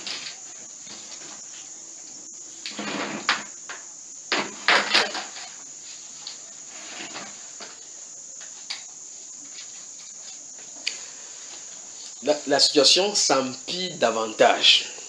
S'empire davantage. Hey, tu dis, hey. On dit, comment va l'enfant là? Souviens-toi, la Bible déclare que si vous priez, tout ce que vous avez prié, vous avez demandé, croyez que vous l'avez reçu. Là, par la suite, tout à l'heure le matin, tu as prié. Là, quelqu'un t'a demandé comment ça va l'enfant. L'enfant est malade. Là, après, tu as prié. Tu demandes, Seigneur, je prie que tu guéris l'enfant. Parce qu'il a dit tout ce que vous demandez. Il veut la guérison de l'enfant. C'est ça le sujet de prière. Il a dit, croyez que vous l'avez reçu. Et vous le verrez, ça, ça, s'accomplira à l'instant où tu as cru. Maintenant, tu finis de prier, on te dit au nom de Jésus, Amen. La signature, là, tout le monde connaît. Mais ce n'est pas le problème là-bas. Donc, le sujet de prière n'est pas difficile. Signer ça au nom de Jésus, tout le monde, même en dormant, quelqu'un peut, tu dis au nom de Jésus, là, quelqu'un dans le sommeil va dire Amen. Parce que tout le monde sait signer comme ça. La difficulté, c'est que tu sois vraiment lucide pour savoir croire sans voir. Alors, après cette prière-là, l'enfant fait quelqu'un appelle, c'est toi qui prends le téléphone pour chercher qui va m'aider, qui va m'aider, qui va m'aider. Ceci montre que tu n'as pas cru dès le départ. C'est pour ça que je vous dis que ce sont les témoignages de ma vie. Il y a beaucoup de choses qui se passent ici à la maison, il n'est même pas en parler. Sur les enfants que vous voyez là. Je suis rentré, il cela une ou deux semaines, j'ai dit à mon, à mon épouse que cet enfant, c'est la fille là, elle va tomber malade d'ici quelques jours. Observez, elle va tomber malade, mais reste tranquille. Ça n'a pas fait deux jours, elle tombée malade. Grave là. Je sens pas tout. Je sais pas, vous avez remarqué, non? Je suis resté là un petit peu parce que le Seigneur m'a averti qu'elle serait malade. Donc tout ce qu'on a dit de m'alliancer dans le ténèbre, c'est quoi la question La dernière fois, c'était le garçon qui était malade. Vous avez vu, n'est-ce pas? Malade, c'est parce que j'ai un ami qui est entré dans la maison. Il a fait comme ça, vraiment, 42 degrés. Il a dit non, non, non, non, non, non. Amenons-le à l'hôpital. J'étais calme là, j'étais assis calme et observais l'enfant. Alors, 42 degrés. Quand c'est 40 degrés, qu'est-ce que vous faites déjà? Ah. Vous commencez à courir. Ah, oh, amenez-le à l'hôpital. Il dit, n'amène pas mon enfant à l'hôpital. Laisse-le là-bas. Comme c'est monté 40 degrés, ça va descendre encore jusqu'à revenir à l'émission. Là, il faut avoir le cœur. Il faut savoir où tu as accroché ton, cœur. Il faut savoir ce qui est en train d'arriver. Vous devez savoir cela. Comment l'enfant fait en train de mourir là, comme ça, tu restes tranquille. Comment tu peux être tranquille? Imaginez comment vous pouvez faire. Alors, ce qu'il veut savoir, c'est est-ce que quand on prie, vous dites, vous parlez, Seigneur, et te soumets telle chose. Nous sommes, voici un jour, par exemple, je dis, vous dites, Seigneur, je sors le matin. Oh Père, je prie que tu contrôles ma journée. Que tout ce qui va arriver aujourd'hui soit ta volonté par. Au nom de Jésus. Amen. Tout le monde sait faire ça. Tu ne peux pas t'asseoir, le client ne vient pas. Tu dis, c'est quelle maudite journée aujourd'hui. Qu'est-ce que tu as dit à Dieu? Qu'il contrôle ta journée. Et tu as de l'insulter maintenant qu'il a donné la malédiction dans ta. Parce que le client n'est pas venu comme tu veux. Donc ça veut dire que tu veux être Dieu de ta propre vie. Puisque tu as dit, contrôle ma journée. Que tout ce qui va m'arriver aujourd'hui soit que ta volonté par parfaite. Donc sa volonté parfaite, qu'à ce moment-là, tu n'es pas le client. D'après ce que tu as demandé dans la prière. Qu'est-ce qu'on devait plutôt dire? Oh Seigneur, merci, comme je n'ai pas le client aujourd'hui. Le problème, c'est que les chrétiens n'aiment pas dire merci quand c'est mauvais. Pourtant, la Bible nous recommande dans ces Hébreux, Ésaïe chapitre, Éphésiens chapitre 5, verset 20, que c'est à votre égard la volonté de Dieu que vous dites merci, même si c'est mauvais. Ah ah Vous voyez le prédicateur là, non? C'est en toute chose. Donc, même si, même si c'est mauvais, il faut dire quoi? Merci. Alors, quand je dis Oh Seigneur, je sors maintenant sous ta conduite. Dirige mes pas. Parce que la Bible déclare clairement, dans Jérémie chapitre 10, verset 23, ce n'est pas à l'homme lorsqu'il marche à diriger ses pas. Donc quand tu marches tes pas, ce n'est pas toi de diriger. Alors je me soumets entre les mains du Seigneur. Quand je sors là, n'importe quoi arrive. Ah frère, faites confiance. Faites, essayez, essayez, essayez de faire confiance. Parce qu'on s'attend à ce qu'en tant qu'être humain, je peux comprendre cela en tant qu'être humain, que si on prie Dieu, que tout aille bien. Non, non, non, non, non. non. La Bible n'a pas dit ça. Il a dit quand je traverse la vallée de l'ombre de la. Je n'ai crains aucun. On n'a pas dit que tous les jours de ma vie, je n'ai crains aucun, mais on a dit je traverse. Où? C'est là où je ne peux pas craindre. Parce que s'il n'y a rien à craindre, c'est qu'il n'y a rien à craindre. Tu dois avoir quelque chose à craindre et être confiant lorsqu'il y a quelque chose à, à craindre. Quand il a dit à Josué, fortifie-toi, prends courage. Il n'a pas dit à Jésus que Jéricho t'attend là-bas. Non. C'est quand il a le gars a compris que là-bas devant c'est fort. Mais Dieu lui dit seulement que fortifie-toi. Alors, Esaïe, Esaïe 43. Il y a quelque chose là. Donc le chrétien aujourd'hui, quand tu entends quelqu'un, il a mangé, son ventre est bien plein, il dit que je, vais chanter pour Jésus, il est le roi. Dans ma vie de tous les jours, il est le roi. Quand, quand il y a la famille, il ne chante plus ça. Oh, c'est pas vrai ça. On y va. Ésaïe, le chapitre 43, ça, la page 720 dans, dans ton livre là. 720. Je crois qu'on a même livre. Non, on n'a pas même. Isaïe chapitre combien? 43. On y va. On y va. Regardez, je vais lire verset 1. Ainsi parle maintenant l'Éternel qui t'a créé, ô Jacob, celui qui t'a formé, ô Israël. Remarquez très bien. C'est lui qui a créé Israël, qui a créé, euh, formé Jacob. Regardez. Ne crains rien, car je te rachète. Je t'appelle par ton nom, tu es à moi. Si tu traverses les eaux, je serai avec toi. Donc il y a une possibilité qu'il traverse où? Les eaux. Oui. Il dit, et les fleuves ne te submergeront point. Il n'a pas dit qu'il va tarir les eaux devant lui, tu vas traverser. Non, il a dit tu vas traverser. Regardez bien. Si tu marches dans le feu, tu ne te brûleras, ne te brûleras, et la flamme ne t'embrasera. Vous avez vu cela? Donc voici, prenons les deux choses et observons. Dieu donne une promesse ici à quelqu'un que c'est lui qui a créé. Il dit Jacob, Israël.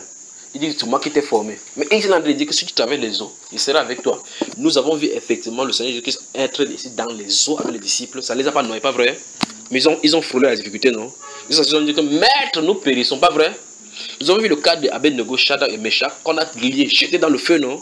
Le feu n'a pas disparu, le feu était là, hein? On les a quand même jetés à l'intérieur. Donc, Dieu veut dire, même si à l'intérieur là-bas, je suis ton Dieu.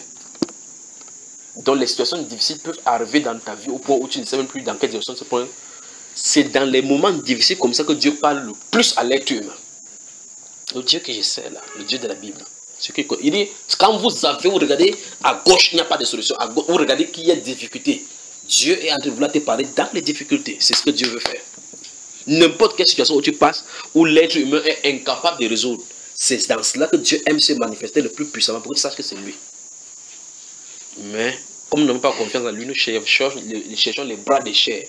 Si seulement on peut comprendre ceci, le silence du Seigneur est le moyen par lequel il travaille dans les difficultés pour affermir notre foi.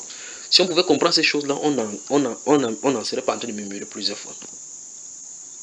Prenons l'exemple du cas de Jésus. Il est dans la barque avec les disciples. Il est en train de dormir. La barque va se noyer. Mais nous périssons. Waouh, waouh, waouh. Tu cries là-bas, ça résout le problème. Quand on crie comme ça, ça devient le gilet pas mal. Le gilet, vous appelez le gilet de sauvetage. Quand tu cries comme ça, ça fait que la, la, la, quoi, la, les tempêtes cessent. C'est la foi qui fait cesser les tempêtes. Le chat dans ce livre de, de, de, Daniel, quand on les a liés avec le calisson, on a dit qu'on a multiplié le feu, ça a chauffé sept fois. Les personnes qui venaient les jeter dans le feu, ça, le feu les a brûlés. Ils sont tombés dans le feu. La Bible déclare que même le calisson, même les cheveux n'avaient pas été souillés par le, la fumée. Pas vrai Ok. Tu dis que waouh, waouh, waouh, le feu. Comme on vous a dit, enseigné dans les églises, que confesser que je suis à terre et non en haut c'est que le feu va diluer ta confession là et toi, à l'intérieur, vous allez fondre. Qu'est-ce qui a fait leur, qu'est-ce qui a fait leur difficulté, leur, leur réussite là-bas? La confiance qu'ils avaient en, en Dieu. Parce que Dieu a promis tu es dans le feu, ça ne peut pas te brûler. Voilà la seule. Donc on peut avoir ce Dieu-là digne de confiance en lui. Parce qu'il a promis, on a vu un exemple dans la Bible. Pas vrai? On a vu le cas de l'apôtre Paul, dans Actes chapitre 28, où on l'a emmené à Rome. Dieu est venu, l'ange est venu dans la nuit, lui dit, écoutez, pour vous comprenez qui il est. L'ange est venu dans la nuit que cette cargaison va, va, va, va échouer sur une île. Donc, mais je te donne tous ceux qui sont dans cette, dans cette barque-ci. L'ange n'est pas venu dans la nuit là-bas. L'ange pouvait venir là-bas, le faire disparaître là-bas. Puis c'est un prisonnier. Et les personnes qui sont à l'intérieur, c'est noir. Pas vrai Ça a noyé avec lui là-dedans. Mais l'ange est venu dire, il, il s'est levé le matin, il a dit que l'ange, un ange du Seigneur que je sais m'a dit cette nuit ici qu'on doit seulement perdre, il ne doit perdre aucun de vie ici que rester dans les cargaisons. On a seulement jeté les vies là-bas. Vous avez vu cela? L'ange n'est pas venu l'enlever là-bas dans le bateau, il ne faut pas que ça noie. Eux-mêmes, ils ont nagé pour aller là-bas, dans, dans, cette île. Pas vrai, frère? Non, non, non, je suis en haut maintenant. Un animal devant de moi, je ne dois pas souffrir. Jésus lui-même, quand on est venu, on l'a d'abord giflé, enlevé les babes là-bas. Ce n'est pas lui le Dieu. Quand on a lancé comme ça, la main a traversé. Ça a arrivé sur ta journée. Quand on a mis le courant, percé, c'est entré. Hein. Euh, et lui déclare que lui, il a souffert comme ça, nous laissant une fois pour que nous suivons ses traces. D'accord, frère? Ok. Il n'y a pas de foi donc sans difficulté. C'est ça le vrai problème. La foi, pour que la foi existe, il faut qu'il y ait des problèmes. Nommer n'importe quel problème. Pour que la foi là existe, il faut qu'il y ait des problèmes. S'il n'y a pas de problème, il n'y a pas de foi. Parce que la foi vient pour confronter les réalités, pour manifester la vérité derrière les réalités et les oppositions de notre vie. Remarquez avec Shadrach, ils se trouvent là-bas, la réalité devant eux. La réalité, c'est que ils ont deux choix. Soit ils se procèdent devant le roi, on les laisse tranquilles. Et là, ça ne dérange personne, ni vu ni connu. Ou bien ils tiennent ferme le feu là. Et là, vous ne voyez pas Dieu. La seule paramètre de l'équation que vous ne maîtrisez pas, c'est Dieu. Vous ne maîtrisez pas s'il va vous laisser brûler vous il ne nous a pas donné l'assurance que vrai, vrai, il sera là. Et le feu fait mal, frère. Il y a des gens qu'on a guillotinés. On a coupé la tête des gens qu'on a mangé au lion. Il n'a pas délivré. Il les a laissés qu'on les mange. L'Apocalypse, l'Apocalypse, regardez. Vous voyez ce que ça me dit. Chapitre 6 d'Apocalypse. Il prend toujours un endroit pour que vous voyez.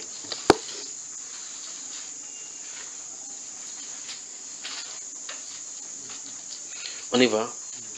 Apocalypse chapitre 6. Il va lire à partir du verset 9. Quand il ouvrit le cinquième seau, j'ai vu sous l'autel les âmes de ceux qui avaient été immolés à cause de la parole de Dieu et à cause du témoignage qu'ils avaient rendu. Ils criaient d'une voix forte en disant Jusqu'à quand, Maître saint et véritable, tardes-tu à juger et à tirer vengeance de notre sang sur les habitants de la terre Écoutez très attentivement. Une robe blanche fut donnée à chacun d'eux et il leur fut dit de se tenir en repos quelque temps encore jusqu'à ce que fût complet le nombre de leurs compagnons de service et de leurs frères qui devaient être mis à mort comme eux. Donc il y a des gens qui sont déjà morts, ils sont là-bas. Dieu, Dieu dit que non, restez tranquille. Il y a encore d'autres personnes qu'on va tuer. Donc certaines personnes, tu es sur la tête, tu ne sais pas qu'on va se tuer à cause de Jésus. On dit d'abord que restez tranquille. Non, n'est pas encore suffisant. C'est Dieu ça. Donc on va t'attraper un de ces jours, tu vas quelque part, tu vas, fait, toi, Tu dis, Seigneur, Dieu, le Dieu de qui ne répond pas le feu, il dit, aujourd'hui, c'est pas le feu, c'est le silence. Qu'est-ce que tu vas faire? Le problème, c'est qu'il ne dit pas dans le programme que tu vas mourir que pas comme ça. C'est lui qui dit ici que certaines personnes vont venir. Frère, es parmi frère. Tu es prêt? La foi donc doit se manifester. C'est au travers des problèmes que la foi se manifeste. Pour d'autres personnes, c'est des difficultés. D'autres personnes, pour d'autres personnes, vous voyez quelqu'un s'assoit il a mis des mains comme ça. Ses regards sont jetés comme ça dans l'infini. Tu entends quelqu'un dire que je suis moi venu accompagner les gens sur la terre. J'ai la face du maquero. Quand il met mes dossiers, j'ai le sang du maquero. Le maquero, même si je sais, tu vois, le maquero sert toujours dans la sauce. Bon, mais de toute façon, ce qu'il me dit, c'est que les inquiétudes, il, dit, il vous dit, c'est le tableau de ma vie. Les inquiétudes ne serviront à rien les, vous appelez les soucis, j'ai les soucis, j'ai les soucis, parce que les nez m'arrêtent. J'ai les nez, j'ai réfléchi trop. Tu réfléchis plus que qui Tu vas avoir des problèmes, essaie de résoudre le problème. Quand tu résous, un problème résolu est un paramètre pour un prochain problème qui va recommencer. Vous ne pouvez pas résoudre un problème jusqu'à ce que vous finissez. Donc la seule chose à faire, c'est comme la Bible a dit, c'est décharger vos sous lui de tous vos soucis. Car lui-même prend soin de vous. C'est pour ça que quand il dort, je dors. Si on fait waouh, waouh, waouh, waouh, waouh, j'ai mon voisin, n'est-ce pas celui-ci, il est pasteur. Voilà ma voiture qui dort dehors depuis plus d'un an. Ça ne se ferme pas. Sa voiture se ferme. Il y a la lame, lui, il entre. Je lui dis, mais garde ta voiture là dehors. Il dit je n'ai pas ma foi, n'est pas comme toi. Il, est pasteur. Il dit, voilà ma voiture, ça ne se ferme. Vous allez là dehors, vous allez vous, ouvrez. Ça va s'ouvrir. La radio, vous appelez, c'est que, vous savez, le, lecteur radio, c'est là dedans. Si on veut voler, quand on vole frais, c'est là dehors, ça dort là-bas. Je n'entrerai pas avec cela. Que ça reste là dehors. Que ça se ferme pas. Ça fait un, plus d'un an, c'est là. Tu vas fuir ce camp. On n'a pas vu les gens qui sont, que les bandits sont entrés dans, dans la maison avec les barrières. Alors si c'est dehors, quand c'est même comme ça, le bandit dit que mais même, vous, êtes sûr que c'est pas le piège? Comment c'est facile comme ça? Le démon, il fuit. Alors, fuir ou bien avoir des difficultés, dire, vous, qu'est-ce qu'il veut faire, qu'est-ce qu'il veut faire? Ok, s'il n'y a pas, tu fais quoi? C'est pour ça que vous voyez les gens faire des lettres de démission de vie. Il dit que je suis désolé. La vie est injuste. Ce n'est pas, pas la vie qui est injuste, c'est eux qui ne comprennent pas la vie. Alors ils disent que non, mieux je me supprime. Quand il va mettre la corde, il se supprime. Le premier est supprimé. Quand il traverse dans l'autre domaine, c'est là qu'il comprend maintenant que j'aurais aimé être là-bas derrière pour résoudre mes propos, avoir confiance en Dieu. Vous qui êtes devant, faites confiance au Seigneur Jésus. Faites-lui confiance, quelles qu'en soient les difficultés. Un, il vous a fait venir dans le monde si personne n'a nous personne de nous qui nous sommes ici. Tu as, tu as décidé de venir sur la terre. Qui a décidé? Et quand ça ne va pas, tu dis que je sais qu'il y a un créateur, donc c'est lui qui t'a créé. Si tu as créé, il a un but pour lequel il t'a créé. Il t'a créé sans te demander. Il t'a mis dans ta famille sans te demander. Choisis ton sexe sans te demander. Mais maintenant, quand tu grandis, tu es sage, tu veux choisir maintenant ta propre vie. C'est là où le vrai problème se trouve. Le problème se trouve en réalité dans notre vie où on ne veut pas laisser le Créateur continuer avec sa créature, ce qu'il a voulu. C'est là où le vrai problème se trouve. C'est pas vous me comprenez. Remarquez bien. Remarquez, quand, quand les enfants grandissent, les enfants, vous dites, je l'emmène à l'école primaire n'importe où. chaque chose, c'est que vous voyez, ce que nous avons avec contre Dieu, c'est ce que nous retrouvons dans nos foyers. L'enfant grandit, vous, vous, le bonbon, c'est toi qui décides la quantité de bonbons tu achètes à l'enfant. C'est toi qui décides la quantité des jouets, la quantité des chaussures. L'enfant ne décide pas jusqu'au jour où il grandit. Quand il commence à voir, être éclairé, tu avec je dis qu'il ne veut pas cela. Un jour, il décide qu'il pas dormir dehors avec ses amis. Un jour, tu vois, bon, toi-même, tu t'assois avec ta femme sur le lit, tu comprends que tu vois l'enfant là, il a, il a grandi. avec ta femme, tu causes comme ça. Comme tu causes comme ça, sache que c'est comme ça que Dieu aussi décide en haut. Dit que hein, qu'il faut qu'on commence à le contrôler maintenant, lui donner le conseil. On ne viens plus ici tard, on menace, ça ne marche pas, tu changes de plan, ça ne marche pas, tu fermes la porte, tu fermes ici, ça ne marche pas. Après, tu entends, on lui a enseigné à l'école que la liberté ne se donne pas, elle, elle s'arrête. Donc, il s'est déconnecté de toi. Tu commences à comprendre que l'affaire là, tu as perdu l'enfant. Or, pourtant, quand tu étais avec, quand il était sous toi, que c'est toi qui guidais, tout allait bien. C'est comme ça l'être humain avec le Créateur. Quand tu es innocent, Dieu te guide, Dieu te guide. Quand on commence à lire la Bible maintenant, tu entends maintenant, quand tu ne comprends pas bien, tu, je suis, tu commences à croire que tu es important. Il dit, ok, tu es important, hein. il reste tranquille. Tu cries, oh Seigneur, tu es où? Il te guide comme ça, parce que tu as cru que tu étais libre. C'est pour cela que le Seigneur Jésus a dit, c'est comme l'enfant. On doit devenir comme l'enfant pour pouvoir entrer. Parce que l'enfant qui est dépendant totalement du père, des parents il fait confiance totalement aux parents. Là, maintenant, le parent peut prendre soin. Mais tout enfant qui est à son parent va avoir chaque fois de chagrin. Pas vrai? Il y aura toujours des frictions parce que l'enfant ne se soumet pas le parent. Et par conséquent, le parent va toujours prendre les décisions. On va amener un enfant, il a fait comme ça, il a fait comme ça. Il dit que d'abord, Si vous voulez le tuer, tuez-le, c'est pas mon enfant, tu fermes la porte. L'enfant prie, oh Père, oh Père. Très souvent, comme Dieu est miséricordieux, il nous fait encore entrer, comme nous faisons aussi avec nos enfants. Donc le problème, c'est situe, le problème de notre foi là, c'est situé au moment où nos yeux s'ouvrent, nous connaissons le bien et le mal. C'est là où on... Remarquez bien, c'est ce qui se passait dans la Genèse. Quand l'homme était innocent, est-ce avait-il des problèmes? Dieu avait des problèmes avec lui. Quand ses yeux se sont ouverts, ils ont commencé à avoir des, pro des problèmes. C'est comme ça. Si elle fait comme ça, si elle fait comme ça. Tu es, tu es dans le monde. Tu ne connais pas Dieu, tu ne cherches pas Dieu. Il y a l'accident, Dieu te délivre. Maintenant, quand tu grandis, tu es en crise. Maintenant, tu dis comment dire maintenant que j'envoie le feu sur les accidents. L'autre là qui était, tu vas envoyer le feu sur ça. Pourquoi ne pas avoir confiance en Dieu que le Seigneur sera mon Dieu, mon Dieu au départ et à l'arrivée. Vous voyez? Maintenant, quand on commence à comprendre quelque chose de Dieu, on commence à croire que c'est par notre force que nous faisons quelque chose pour Dieu. Soyons seulement simples comme les enfants et observons Dieu à l'œuvre. Alors donc, quand l'homme n'a pas compris ça, qu'est-ce qu'on commence à faire? On commence avec les...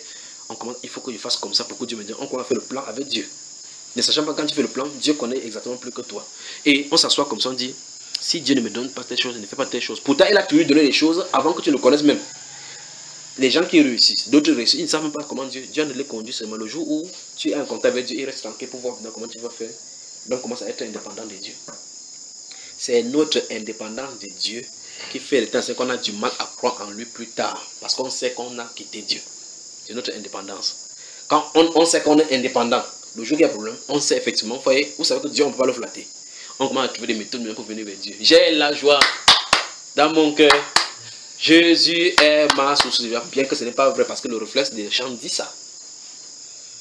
Vous voyez ça, frère? Donc, cultivons la relation avec le Seigneur. C'est pour ça qu'il dit que ces versets, c'est le deuxième volet. Et que s'il croit que tout ce qu'il va, qu'il a demandé, il, il a. Si vous ne, tant que vous n'avez pas de relation intime avec le Seigneur, ce sera difficile que ce le deuxième volet si s'accomplit. Il dit s'il doute point en son cœur, mais croit que ce qu'il dit arrive, il le verra s'accomplir. Comment tu vas croire que tu vas parvenir à croire que ce que tu as dit arrive?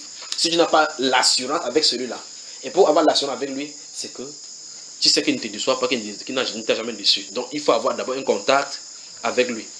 Donc pour pouvoir croire que ce que je dis arrive, il faut avoir l'assurance avec qui tu as cru.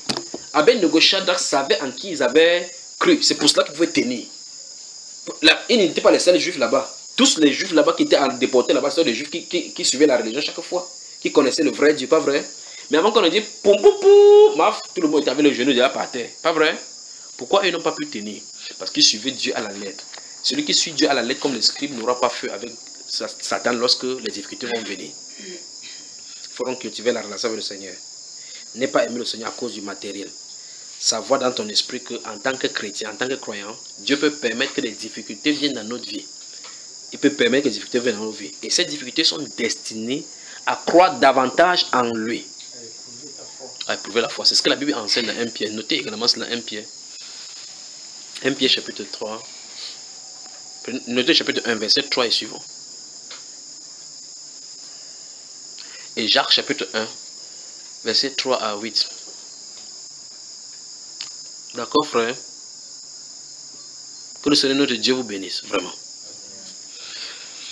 Maintenant, Jacques chapitre 1, verset 3 à 8.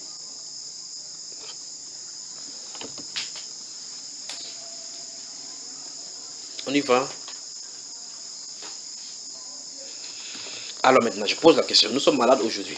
Qu'est-ce que Dieu a dit par rapport à cela? Maintenant, attends, permettez-moi de lire le verset 24 de ces euh, euh, Marc chapitre 11.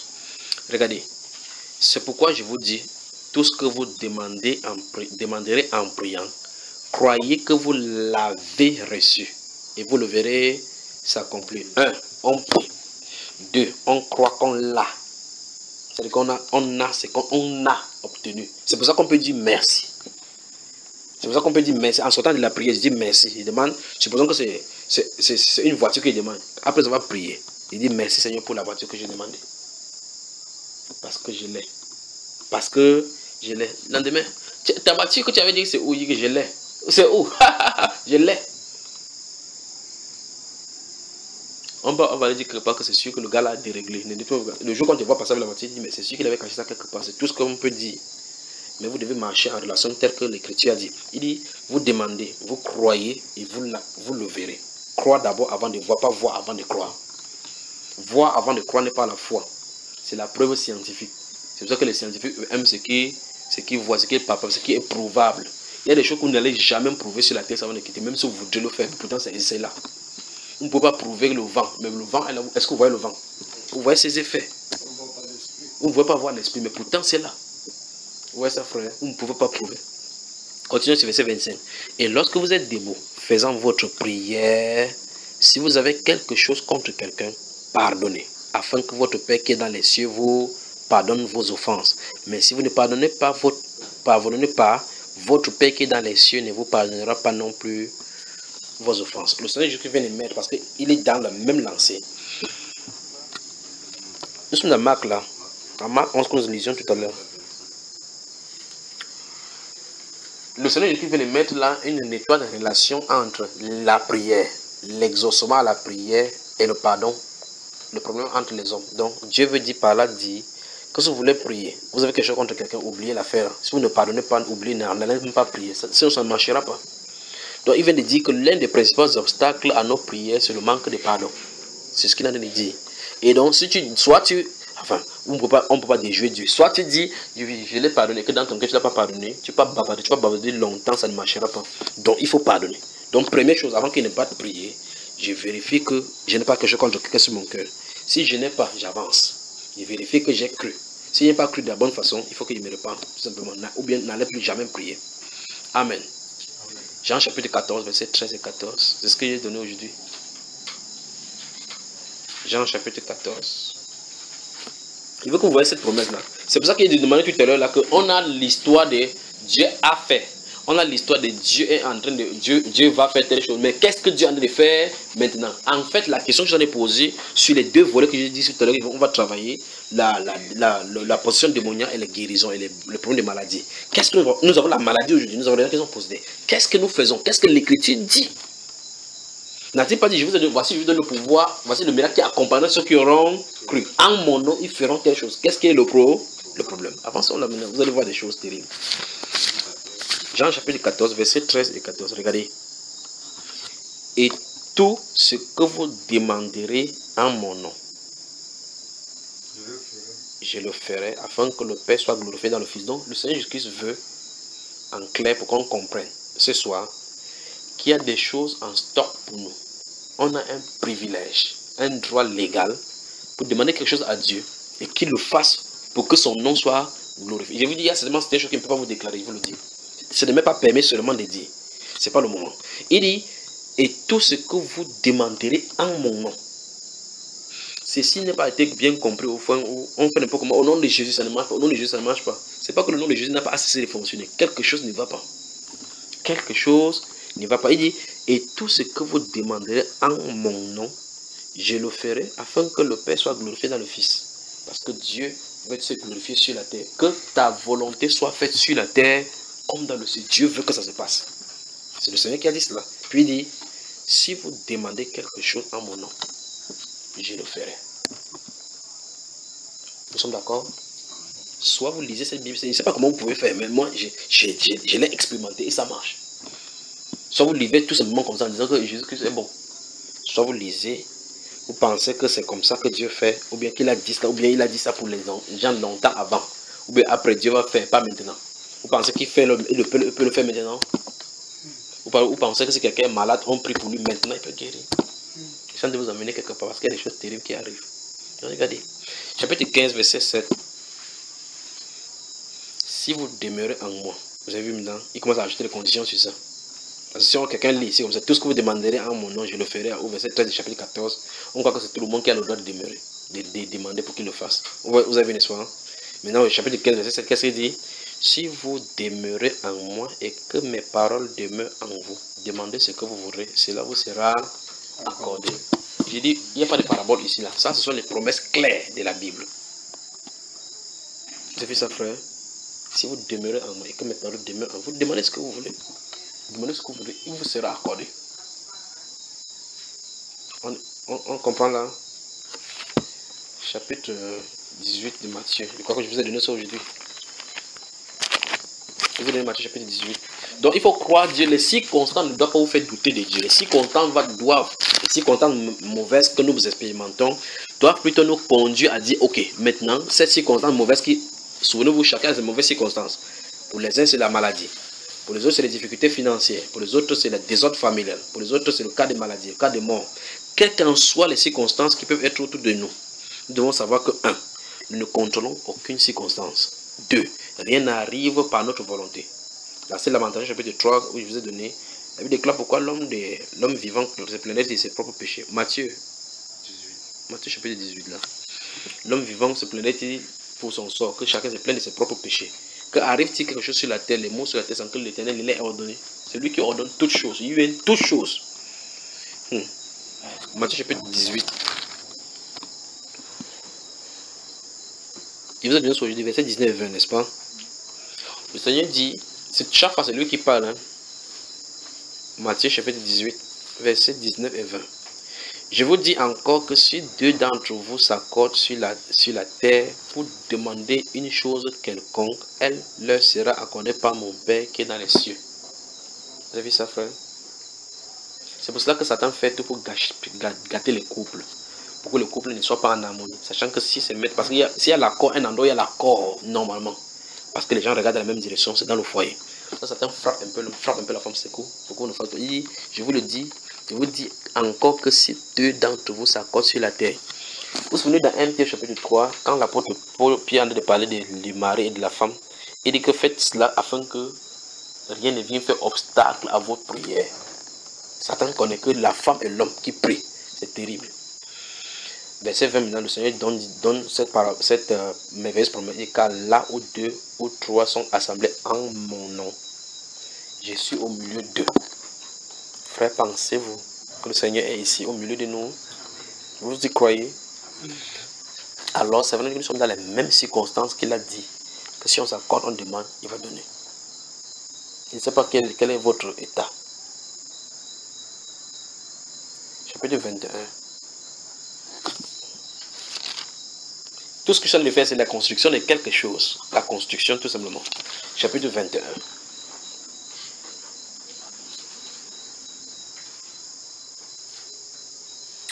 Je vais lire le verset 22, mais je crois aujourd'hui, je vous donner le verset 18 à 22. Regardez le verset 22.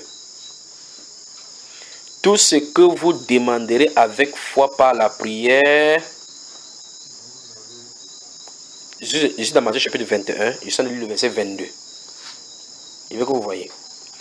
Tout ce que vous demanderez avec foi par la prière, vous. Vous avez vu ça, frère? N'est-ce pas merveilleux ça ah, en fait, à moi, soit vous lisez la Bible comme ça, vous jetez la Bible, ou bien vous lisez la Bible seulement par routine. Vous voulez être sur les scribes ou bien comme ayant l'autorité. Donc ça veut dire que vous devez croire ce qui est écrit. Il dit tout ce que vous demanderez avec foi par la prière, vous le recevrez. Avez-vous quelque chose sur lequel demander, mes soeurs, mes frères? Vous avez quelque chose? Sur le moment N'importe quoi. Parce que on a vu, allons dans Hébreu là. Ça ne doit pas effrayer. Il dit bien n'importe quoi n'importe quoi. Au moment où on demande quels que soient les obstacles qui nous arrivent, qu'on ne soit pas ébranlé. Le, le, vrai problème avec l'être humain, c'est que, un, on se fie plutôt aux obstacles parce que les obstacles sont très proches de notre chair. Vous voyez? Deux, on n'aime pas les difficultés par nature. Trois, on est enclin à croire plus aux difficultés parce qu'on les voit plutôt qu'à Dieu qu'on ne voit pas. Et par conséquent, on se confie à notre propre bras, on veut résoudre nos propres problèmes. Fais confiance en Dieu. Dis à quelqu'un, fais confiance en Dieu. Quelles qu'en soient les circonstances. Même si ça semble être noir. Même si le médecin dit c'est fini. Dieu ne l'a pas déclaré. Si la science dit c'est impossible, Dieu va effacer le I et le M qui sont devant.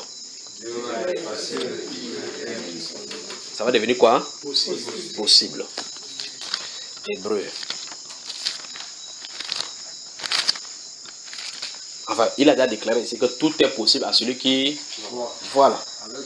Uh-huh. Il ne suis pas de parler de Jésus qu'on récite dans la Bible, on récite dans les églises. On dit que je prophétise sur toi que ceci va marcher. C'est pas ça. Il n'y a pas de prophétie contre les difficultés. Hmm. En tout cas, même si tu entres là-bas, on finit de prier. Quand tu rentres à la maison, tu vois que le tabernacle apparaît dans ma maison, on voit. Hébreu chapitre 4.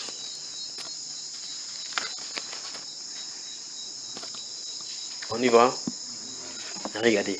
Je crois que je vous ai donné ça aujourd'hui, Hébreu chapitre 4, verset 14 à 16. On y va.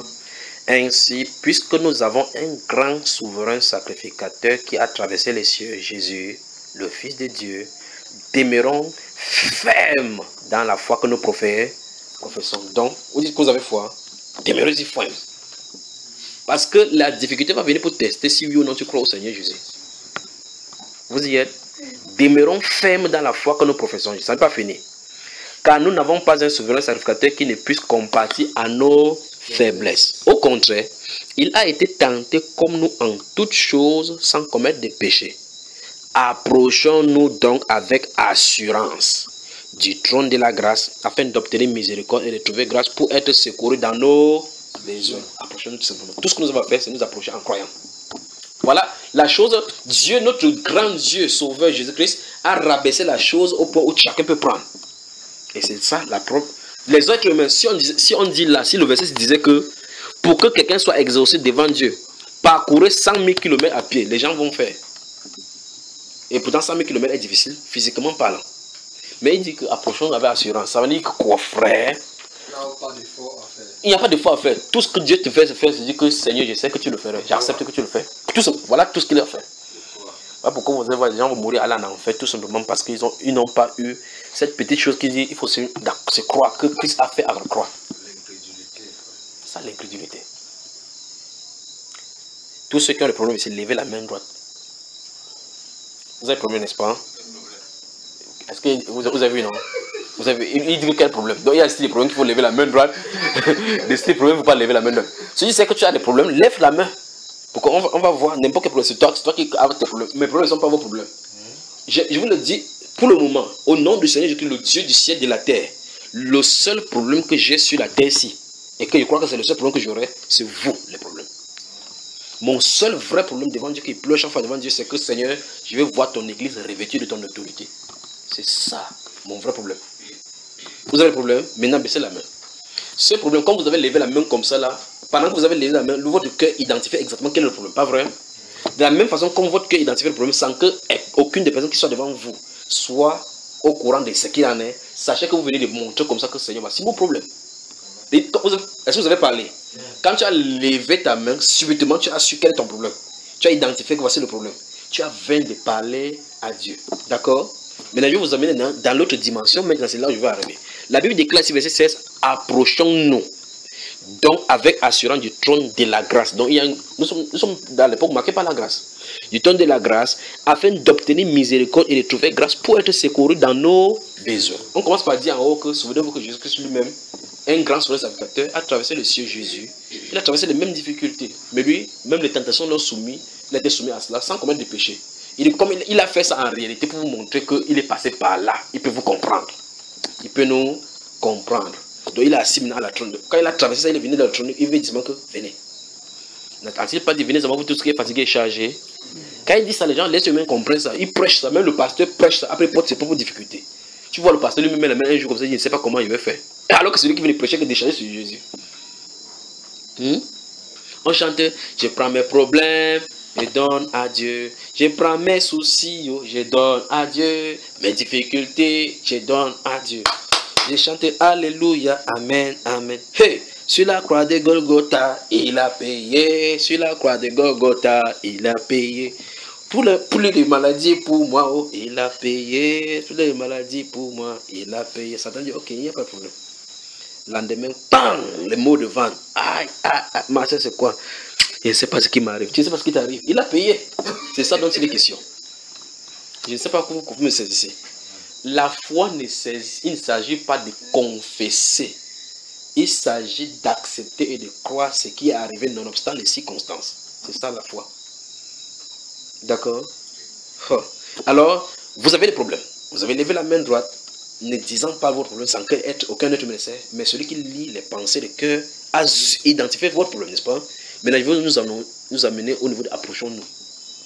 Il a dit ça s'approche. Donc ce soir, si toi et moi, nous pouvons seulement s'approcher de cette trône-là, et cette trône-là n'est pas loin, Il est là parce qu'il est présent, parce qu'il a dit que car là où deux ou trois sont assemblés à mon nom, je suis au milieu.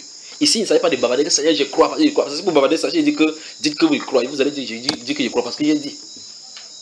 Si vous ne parvenez pas à croire, dites Seigneur, viens au secours de mon incrédulité. C'est ce qu'un type a dit là dans la Bible. Allons dans Matthieu, Matthieu 17. Regardons-le. Matthieu chapitre 17. Ce n'est pas un péché de dire Seigneur, viens au secours de moi. Si vous ne croyez pas, hein, dites que Seigneur, je ne parviens pas à croire. Fais-moi croire comme tu veux. Vous comprenez, mes chers hein? Et regardez là. Matthieu chapitre 17, la partie verset 14. Regardez. Lorsqu'il fut arrivé, je dis juste dans Matthieu chapitre 17, verset 14. Lorsqu'il fut arrivé près de la foule, un homme vint se jeter à genoux devant Jésus et dit Seigneur, aie pitié de mon fils qui est lunatique et qui souffre cruellement. Il tombe souvent dans le feu et souvent dans l'eau. Je l'ai amené à tes disciples et ils n'ont pas pu le guérir. Race quoi? Race incrédule et perverse. Et perverse, répondit Jésus. Vous avez, vous avez ça? Race incrédule et perverse. Jusqu'à quand serai-je avec vous? Jusqu'à quand vous supporterai-je Amenez-le-moi ici. Jésus parla sévèrement au démon qui sortit de lui et l'enfant fut guéri à l'heure même. Prenons cet exemple des lunatiques. Quand c'est chez nous ici aujourd'hui, l'être humain, tout ce qu'il peut faire, c'est amener à l'hôpital Jamour, au centre psychiatrique. Chez les blancs, les enfants, dans de fou, on dit qu'il a les illusions. Pourtant, c'est un démon. Parce que dans la terminologie des, des médicales modernes, il n'y a pas de démon. On va injecter les sédatifs là-bas pour le faire dormir chaque fois que le démon dort bien dans son corps. Voilà comment les êtres humains souffrent. Il était lunatique. La Bible déclare que Jésus parla sévèrement au démon qui était en lui. Donc c'est le démon qui le poussait à être lunatique. Il pouvait tomber. Vous, avez, vous, avez, vous allez voir les êtres humains qui sont tombés dans le feu, ça a brûlé un côté. S'il tombe dans l'eau, ça brûle, il ne peut pas faire comment? Parce que le démon l'a endormi. Mais il regarde quand il se lève là, quand il est conscient, il souffre. C'est un démon qui fait ça. Des gens donc qui ont une partie du corps paralysée à cause de cela. Maintenant, regardez bien. Verset 19. Regardez. Jésus parla sévèrement au démon et le démon sortit de lui. Et l'enfant fut guéri à l'heure. Alors le disciple s'approcha s'approchait de Jésus et lui fit cette question. Vous avez vu cela? Allons dans le livre de Marc d'abord, voir, voir, la même situation sur la barrière. Marc chapitre 9. Avant, ou bien Luc chapitre 9 aussi. Je vais vous montrer seulement quelque chose.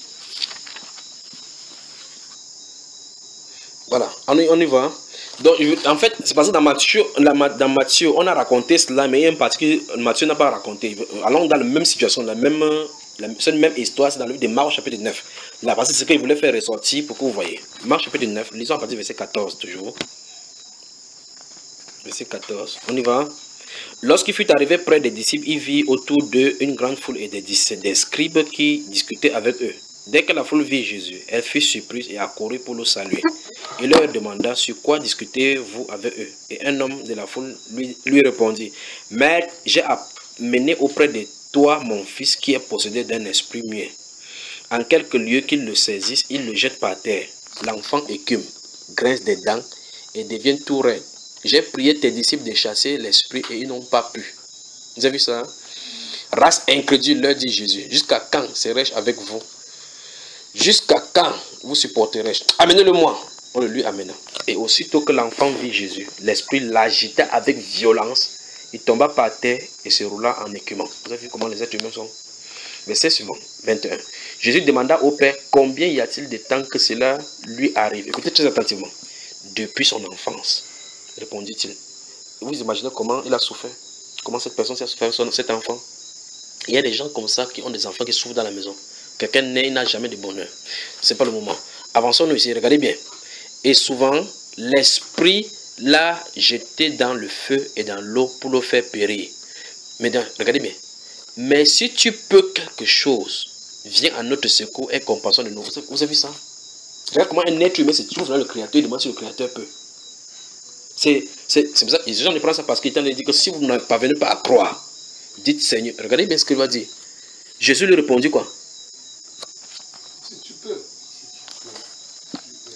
En fait, Jésus est surpris ici. Il vient voir Jésus, il dit, si tu peux. Il croit que Jésus est un endroit où on va aussi essayer. Jésus dit, si tu peux, si tu, c'est comme ça que c'est écrit là. Si tu peux, Jésus est surpris de quelqu'un comme ça. Si vous lisez le chapitre 1, le, chapitre 1, verset 45 et suivant, vous allez voir un lépreux qui est venu voir Jésus. Il dit, Maître, si tu le veux, tu peux me rendre pur. Jésus l'a regardé, il dit que je le veux, sois peu. Il a tendu, la main, ça c'est censé purifier. Parce que si Jésus veut, il va le faire. S'il veut n'importe quoi, il va le faire parce que tout est possible. Il est Dieu. Celui-ci vient dire si tu peux. Donc il y a quelque chose qui peut dépasser Dieu. Il dit si tu peux. Regardez ce que le Seigneur va lui dire. Il dit, Jésus dit, si tu peux. Après il dit, tout est possible à celui qui croit. En fait, on se trouve devant une situation que nous retrouvons ce soir. Donc le Seigneur Jésus-Christ reste tranquille. Cet homme-là vient rencontrer Jésus. Il dit, mon fils, si est lunatique, il est mieux, l'esprit a jeté au champ. Mais si tu je l'ai amené chez disciples, ils n'ont pas pu. Mais si tu peux. Donc, comme tes disciples n'ont pas pu, là, si tu peux, donc on ne sait jamais, peut-être toi tu peux rater. Jésus lui a renvoyé le problème que c'est en fait le problème n'est pas lui, mais c'est toi. C'est celui qui en a de parler qui a le problème. Il dit, si tu peux, tout est possible à celui qui croit. Il veut dire que ce n'est pas lui le problème, c'est toi qui es le problème. Et là, l'homme va comprendre l'interjection du Seigneur Jésus. Regardez ce qu'il va dire. Il dit, après cela, il dit le verset 23, Jésus lui dit, si tu peux, tout est possible à celui qui croit. Donc c'est celui qui veut qui peut croire. Regardez bien. Aussitôt le, père de l'enfant s'écria. Il sait, je crois. Viens au secours de mon incrédulité. Jésus venait lui dire c'est toi qui es incrédule. Donc s'il y a pas, y a problème, c'est toi de ton côté, pas de son côté. Donc si nous prions, ça ne marche pas, le problème c'est tout de notre côté. Alors si nous ne pouvons pas croire comme il faut, disons, Seigneur, viens au secours de notre incrédulité. C'est-à-dire que quoi Que la miséricorde de Dieu passe pour nous. C'est pour ça qu'il a parlé de ces Hébreux chapitre 4, verset 16, de, s'approcher du trône de la grâce, afin d'obtenir miséricorde pour être secouru. La miséricorde de Dieu, c'est-à-dire que Dieu couvre tout ce que nous avons fait, Dieu regarde toute notre bassesse, toutes ces choses-là, pour traverser cela, pour se manifester. Vous suivez, frère Je vous ai également donné aujourd'hui Luc chapitre 13, le verset 10 et suivant, jusqu'au verset 18, n'est-ce pas? Dans ce Luc chapitre 13, il est question de la femme, une femme qui est tenue captive pendant 18 ans par Satan. Elle s'est trouvée dans la synagogue. Elle avait une bourse. C'était une femme qui était Vous voyez des, personnes marcher avec des personnes, vous voyez des personnes sont courbées. Vous dites, mais qu'est-ce que est arrivé à que ces personnes soient courbées Vous voyez des personnes, c'est là, le cou qui est gonflé comme ça. Vous voyez d'autres personnes, c'est comme ça, le goût. Vous dites, qu'est-ce que ces personnes Vous voyez ça, si ça ne vous fait pas mal, vous avez un problème. Et là, c'était un démon qui habitait son cœur, son, corps. Disons ça en dernier lieu, et puis on arrête là. Luc chapitre 10, 13.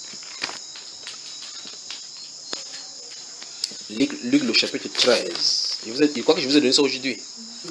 Voilà. Verset 10 et suivant.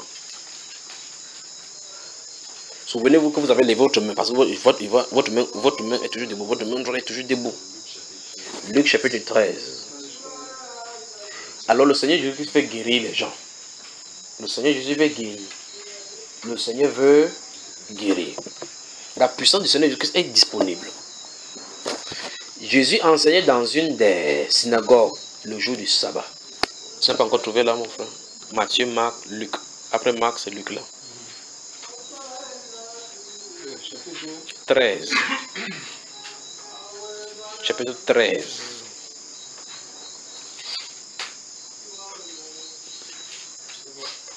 Verset 8. Euh, verset 10 et suivant. Jésus enseignait dans une des synagogues le jour du sabbat. Et voici, il y avait là une femme possédée d'un esprit qui la rendait infime depuis 18 ans. Elle était courbée et ne pouvait pas du tout se redresser. Vous avez vu comment les êtres humains souffrent Dans l'église, aujourd'hui comme ça. Nous avons vu, quand nous avons commencé à lire dans Marc chapitre 1, nous avons vu que c'est la même situation qui s'est positionnée. Un homme était là, le jour où Jésus est entré dans la synagogue pour lire, il y avait un homme qui avait un esprit. C'est encore un autre. ils sont On est comme ça dans l'église, comme ça dans l'église, possédé on est en difficulté comme ça là, et le Seigneur Jésus veut en faire son entrée. On y va. Verset 12. Lorsqu'il la vie, Jésus lui adressa la parole et lui dit, Femme, tu es délivrée de ton infirmité. Vous avez vu ça, frère? Prions seulement que le Seigneur fasse son entrée dans son église. C'est tout ce qu'il peut faire. S'il fait son entrée dans son église, les gens vont respecter les chrétiens. Alors vous, avez, vous voyez les chrétiens aujourd'hui qui quittent le dimanche, lundi, il village pour faire la tradition. Parce que hein, quelqu'un lui a dit que je connais un chrétien qui, on avait dit qu'il part au village faire la tradition, il n'est pas parti. Il est mort comme ça. Il dit, hé, la qualité, si ça peut me prendre. Parce que j'ai prié, on a, je suis allé voir, personne a mis la main. J'ai bu l'eau bénite, boire l'eau d'onction, n'importe comment, ça n'a pas donné. C'est toujours là, donc il faut que pas laver. L'autre rien du village en disant que je suis allé laver mon âme, je suis guéri. Mais je suis à l'église. Vous voyez, il ne sait pas que son âme a été vendue. Satan peut faire n'importe quoi que tu sois confortable dans ton croyance. Alors, tant que le Seigneur ne fait pas son entrée, on va toujours continuer à regarder comme ça. Vous pensez que quelle était la différence entre ces juifs, ceux qui vivaient comme ça, et les mondains Parce que les mondains devaient avoir les mêmes problèmes, c'est que ceux qui étaient à la synagogue avaient les mêmes, les mêmes problèmes. Mais quand le Dieu des puissances se manifeste, on voit effectivement qu'il y a clairement la, la différence. Vous voyez ça, frère? C'est pour ça qu'il avait tracé la différence entre eux et les, et les mondains dans ce livre d'Exode, chapitre 22, 23. Alors il a dit que si vous mettez ma parole, ma pratique, vous mettez ces choses, si vous mettez ces choses, il n'y aura pas dans ton pays une femme qui avorte. Vous voyez cela Il n'y aura pas de femme stérile dans ton pays. Parce qu'il voulait qu'il respecte son alliance. Pour que les gens voient que, mais pourquoi les Israéliens ne souffrent pas? Pourquoi les choses qui nous arrivent ne nous arrivent pas? Mais il a dit, si ces ennemis-là vont venir vers toi par un chemin, ils vont revenir par, par sept. Mais si tu fais comme eux, quand tu vas aller vers eux par un chemin, c'est toi qui vas rentrer par sept. Donc Dieu va s'atteler à ce que toi qui aides pour lui, il te, on te traite bien. Dis à ton voisin, restons fidèles à Dieu. Restons fidèles. Même si la mort va te prendre, Reste fidèle à Dieu. Je vous pose une question simple, n'est-ce pas, frère? Vous dites que vous êtes chrétien. On dit qu'il y a une coutume au village que si vous n'allez pas vous laver au village, vous allez mourir. Tu es malade. Tu dis, oh Seigneur, je crois, je crois. La maladie ne fait qu'augmenter. Tu rêves même comment ton grand-père qui est derrière moi te dit que viens, viens. Quand tu lèves, tu comprends que c'est quoi ça? C'est la mort, non? Mhm. Tu te lèves, après c'est toi qui appelles maintenant amenez-moi au village. Mais amenez-moi dans la nuit, on ne me voit pas. Vous allez au village, vous finissez de faire ça, tu sors, maintenant tu te lèves. Jusqu'à ce que, là, lorsqu'on a fini de faire cette coutume, je suis de vous monter un scénario pour que vous compreniez que quelque chose ne va pas. Cet scénario-là, vous vous levez maintenant, vous dites, ah, je suis guéri. En rentrant, tu fais l'accident, tu meurs. Tu te trouves où Où est, où est là où vous vous retrouvez Eh frère, il faut que vous réfléchissiez un seul instant. Parce qu'en réalité, quelqu'un peut être malade, il meurt, il va au ciel. Quelqu'un est guéri, il meurt, il va en enfer. Parce qu'avoir la maladie en soi ne veut pas dire qu'on est ennemi de Dieu, non. Être infime ne veut pas dire qu'on est ennemi de Dieu. Il y a un homme là qui est né, grandi pauvre, il est mort pauvre, il est au sein de. Vous avez, vous avez son histoire dans la Bible, non? Lazare. Donc être pauvre, ça ne veut pas dire que sur la terre, comme vous dites que ma part est finie sur la terre. On est venu accompagner les autres. Oui, tu l'as accompagné en tant que pauvre. Mais le problème, c'est que là-bas, ce n'est pas la situation qui sera là-bas. Donc quelqu'un peut être pauvre sur la terre, ça ne veut pas dire qu'on va rater le ciel à cause de la pauvreté. Malade, ça ne veut pas dire cela. Ce qu'il faut faire, c'est ne pas se focaliser sur son problème. C'est focaliser sur le solutionnaire des problèmes. S'il le veut, il le fait. Lorsque Abednego Shadrach, dont train de parler dans ce livre de euh, Daniel, lorsqu'ils sont concentrés pour parler au roi, ils n'ont pas dit au roi qu'ils sont sûrs que Dieu va les enlever de là. Vous savez ça, frère? Non, non, non, non, non. Ils ont dit que même si Dieu ne les délivre pas, ils n'adorent pas comme ça. Donc même si on dit, oh, même si, même si vous voulez tuer quand même, tuer, même si Dieu lui-même ne c'est ce qu'ils ont dit, ils ont dit, même si Dieu ne les délivrait pas, sache que nous n'adorons pas ton Dieu, oh ça. C'est ce qu'ils ont dit. Donc ça veut dire qu'ils n'étaient pas là pour que, ils vont faire ça pour que Dieu te délivre, délivre, pour qu'ils voient la gloire de Dieu. Non. Parce que nous avons vu dans Esaïe, dans Apocalypse chapitre 6 là, comment le Seigneur a dit qu'il y a d'autres personnes qui seront mises à mort, non? Non, Le problème c'est qu'il n'a pas donné le nom de ceux qui seront mis à mort, c'est lui qui connaît les noms là-bas. Frère, peut-être c'est toi, peut-être tu es parmi. Il dit Amen maintenant là. Après il va sortir, il dit qu'est-ce que le frère là a vu derrière mon. Alors maintenant, euh, on a suivi là-bas, disons, c'est, je crois que j'ai dit c'était le dernier livre là-bas. Alors on a dit Daniel là, disons, c'est seulement la phrase là. Daniel, après livre d'Ézéchiel.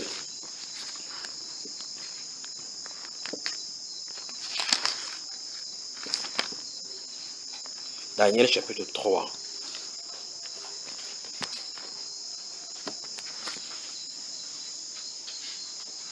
On y va. Je vais du verset 16 à 18 tout simplement. Euh, euh, regardez. Daniel, celui-ci là encore trouver Daniel là. Après Ézéchiel, vous allez trouver Daniel. 16 à 18. Oui. Shadrach, Meshach et Abednego répliquaient au roi Nebuchadnezzar Nous n'avons pas besoin de te répondre là-dessus.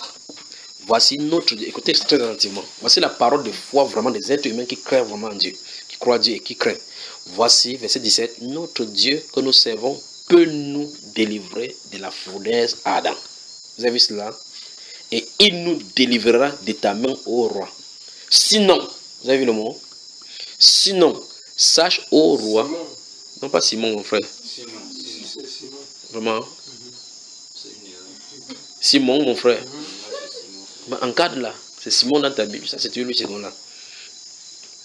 Sinon, sache, ô roi, que nous ne servirons pas tes dieux et que nous n'adorerons pas la statue d'or que tu as élevée. Sur quoi Nebuchadnezzar fut rempli de fureur et il changea de visage en tournant ses regards contre Shadrach, Meshach et Abednego. Vous voyez comment quelqu'un répond à un roi comme ça, le roi qui a autorité de vie sur toi. Tu lui dis face à face qu'on ne le fait pas. Il reprit la parole et ordonna de, de chauffer la fournaise sept fois plus qu'il ne convenait de la chauffer. Vous avez vu? Donc, il voulait seulement que vous voyez la parole de ces gens-ci. Ils ont dit au roi Nebuchadnezzar que notre Dieu est capable de nous délivrer de tes mains. Et même s'il ne le fait pas, nous n'en n'endurerons pas. Voici la parole de foi. Vous avez vu ça?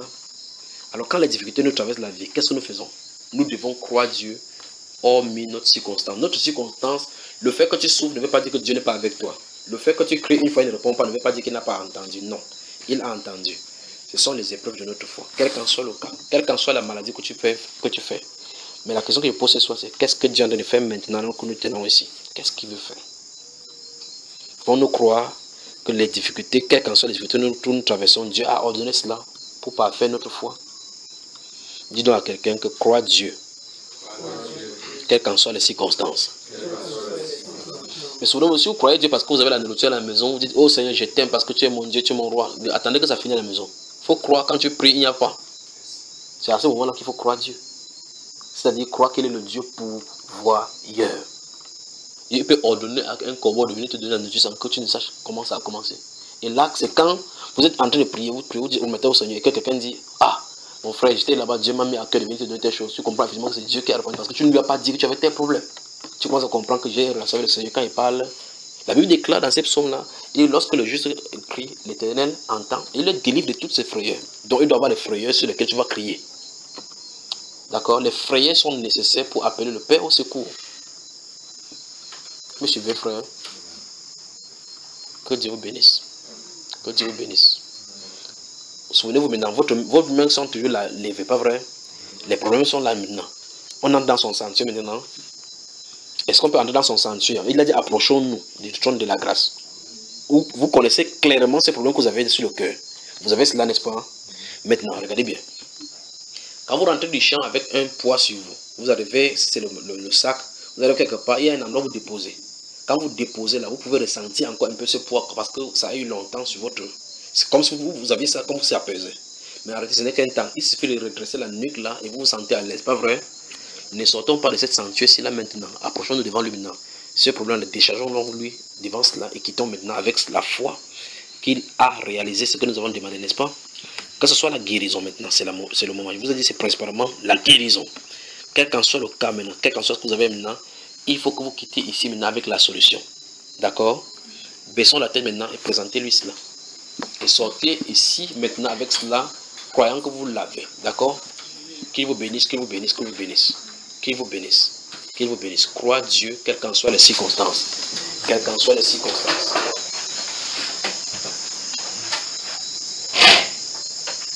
Quelles qu'en soient les circonstances. Crois Dieu, quelles qu'en soient les circonstances. Parle-lui.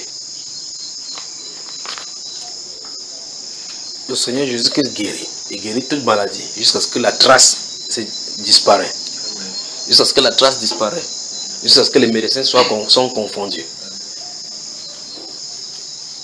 Qu'il vous guérisse ce soir. Vous qui êtes malade, que vous sortiez ici guéri au nom de Jésus-Christ de Nazareth. Vous qui avez des difficultés, que vous sortiez ici restauré au nom du Seigneur Jésus-Christ. Seigneur, je prie pour tous ceux qui sont dans le monde entier qui m'écoutent maintenant. Je prie, Père de gloire, pour ceux qui dandinaient dans la foi, pour ceux-là qui pensaient au Dieu de gloire, que parce qu'il y a des difficultés, tu ne les connais pas, c'est soit tu as parlé à quelqu'un pour dire que dans cette difficulté, tu en train de parler. Mais tout ce qu'ils ont fait, c'est laisser décharger sur toi. Je prie, Père, que tu étends ta main, que tu guérisses quelqu'un. Je prie au Père de gloire que tu ouvres les yeux des aveugles. Je prie, Père de gloire, que tu relèves les paralytiques. Je prie, au Dieu de gloire, pour tous ceux qui ont les traces de VIH, que tu guérisses quelqu'un. Tous ceux, au Dieu de gloire, qui, ont les, qui sont que tu guérisses quelqu'un. Je prie, Père de gloire, que tu guérisses ceux qui ont des pertes de sang ce qui est des règles au Dieu de gloire qui ne se manifestent pas normalement. Que tu guérisses quelqu'un. Que tu accordes la fertilité à un homme, à une femme maintenant. Au nom du Seigneur Jésus-Christ de Nazareth. Je prie au Dieu de gloire que tu leur donnes de ne pas regarder la circonstance, mais de croire que tu le fais pour eux ce soir. Que le nom ce soit glorifié, Père. Tu as dit tout ce que vous demanderez en priant. Croyez que vous l'avez reçu, vous verrez s'accomplir. Satan, je m'en me tiens maintenant en tant que serviteur de Dieu vivant. Je me lève contre toi maintenant de dégager maintenant de ces enfants. De quitter la vie de ces enfants, c'est maintenant au nom de Jésus. ton opprobre et ton obstacle dans leur vie, ton esprit d'incrédulité dans leur vie, quitte maintenant au nom de Jésus-Christ de Nazareth. Au nom de Jésus-Christ de Nazareth. Ton obstacle quitte maintenant au nom de Jésus-Christ de Nazareth. Satan, je me tiens contre toi maintenant en tant que, avec l'autorité du Dieu vivant et vrai. Je me lève contre toi maintenant, que tu quittes la vie de ces enfants-ci au nom de Jésus-Christ de Nazareth. Oui, la promesse de la guérison, c'est pour nous. La promesse de la guérison, c'est pour toi. Qu'il te guérisse au nom du Seigneur Jésus-Christ de Nazareth. Jésus-Christ est effectivement le même hier, aujourd'hui et éternellement. Celui qui guérit les malades, celui qui restaure tout chemin qui était tortueux. Seigneur, merci pour ta guérison, merci pour ta restauration. Merci pour la guérison que tu apportes à ton peuple. Merci Seigneur Dieu de gloire pour tout ce que tu fais. Que ton nom soit élevé, Père. Au nom du Seigneur Jésus-Christ. Le Seigneur Jésus vous guérit. Le Seigneur Jésus vous guérit. Le Seigneur Jésus vous guérit. Le Seigneur Jésus-Christ te guérit, ma chère. Le Seigneur Jésus-Christ te délivre. Le Seigneur Jésus-Christ te délivre. Le Seigneur Jésus-Christ te guérit au nom du Seigneur Jésus. Plus d'obstacles entre toi et le Seigneur Jésus. Plus d'incrédulité. Parce que sa promesse tient toujours. Sa promesse tient toujours pour toi. Sa promesse est vraie pour toi. Il est le même hier, aujourd'hui, pour toujours. Seigneur, guéris ton peuple. Oui, vous sortiez ici guéris. Vous tous qui m'écoutez dans le monde entier, vous tous, vous êtes guéris au nom de Jésus-Christ de Nazareth. Croyez seulement. Croyez seulement. Croyez seulement. Si vous pouvez croire seulement. Croyez seulement. Tout ce que vous demanderez en priant. Croyez que vous l'avez reçu et vous le verrez s'accomplir. Oui, c'est de votre droit le plus absolu en tant que croyant de voir la gloire de Dieu dans votre vie, de voir la promesse de Dieu s'accomplir dans votre vie. Vous avez un privilège glorieux devant le Seigneur de vous approcher devant le trône de grâce pour être secouru. C'est ce qu'il a dit. Seigneur, merci pour le privilège que tu nous as accordé. Merci pour le privilège, Seigneur, parce que tu as des choses en réserve pour nous. Merci pour la guérison que tu accordes à ton peuple. Merci, Père de gloire, pour l'esprit, oh Dieu de gloire, que tu donnes à ton peuple pour pouvoir pallier à tous leurs besoins. Merci pour la foi que tu accordes à ton peuple par la puissance que tu as développée à la croix afin qu'il marche dans la sainteté. Merci Père pour tout ce que tu fais. Merci pour la guérison que tu accordes à ton peuple. Merci Père de gloire pour la guérison que tu accordes à ton peuple. Merci pour la guérison que tu accordes à ton peuple. Satan, je t'ordonne au nom de Jésus-Christ de libérer le peuple du Seigneur, de libérer ses enfants, de quitter leur vie afin qu'ils servent Dieu dans un esprit nouveau. Je t'adjure au nom de Jésus-Christ de quitter leur corps, de quitter le corps maintenant. Au nom du Seigneur Jésus-Christ de Nazareth. Au nom de Jésus-Christ de Nazareth. Au nom de Jésus-Christ de Nazareth. Il n'a aucun, Satan n'a aucun droit légal sur vous. Il n'a aucun droit légal. Qu'il quitte votre vie maintenant. Le, vous êtes le peuple de la foi en Jésus-Christ. Satan n'a aucun droit légal pour demeurer dans votre vie. Il doit quitter. Je t'adjure au nom de Jésus-Christ de libérer ce peuple maintenant. Au nom de Jésus-Christ, la guérison est pour toi. Au nom de Jésus-Christ, mon frère, la guérison est pour toi. Au nom de Jésus-Christ, la guérison est pour toi, ma soeur. Que le Seigneur Dieu du ciel te guérisse. Qu'il te guérisse pour toi qui pleure jour et nuit. Que tu veux voir sa gloire. Qu'il te guérisse et qu'il te visite maintenant. Au nom de Jésus-Christ de Nazareth. Oh, mes, frères, sa puissance est enseignée. Vous pouvez le voir maintenant se manifester. Vous pouvez le voir maintenant. Vous pouvez le voir maintenant. Vous pouvez le voir là maintenant. Et vous savez effectivement qu'il est au milieu de nous. Oh Seigneur, merci. Merci Seigneur pour ta présence. Merci pour la restauration que tu accordes à ton peuple. Merci. Mon frère, reçois ta guérison au nom du Seigneur Jésus-Christ et rentre guéri. Rentre guéri au nom du Seigneur Jésus. Ma soeur, rentre guéri au nom du Seigneur Jésus-Christ de Nazareth. Que rien ne vienne plus faire obstacle entre toi et ton Dieu. Merci Seigneur Jésus-Christ de Nazareth. Merci pour ma soeur que tu guéris. Merci pour mon frère que tu guéris. Merci pour mon frère que tu guéris. Au nom du Seigneur Jésus-Christ de Nazareth, qu'il te guérisse. Au nom du Seigneur Jésus-Christ de Nazareth, qu'il te guérisse. Qu'il te guérisse, qu'il change ton sang, qu'il change ton statut, qu'il change, oh Dieu, change, oh Dieu, ce que, que l'homme a déclaré contre ma soeur, contre mon frère. Au nom du Seigneur Jésus-Christ de Nazareth, tu es le Dieu qui guérit, tu es le Dieu qui restaure, tu es le Dieu qui délivre. Tu n'as pas changé. Que ton nom soit glorifié au nom du Seigneur Jésus-Christ de Nazareth. Au nom puissant du Seigneur Jésus-Christ de Nazareth. Tu es le Dieu qui restaure. Restaure ton peuple.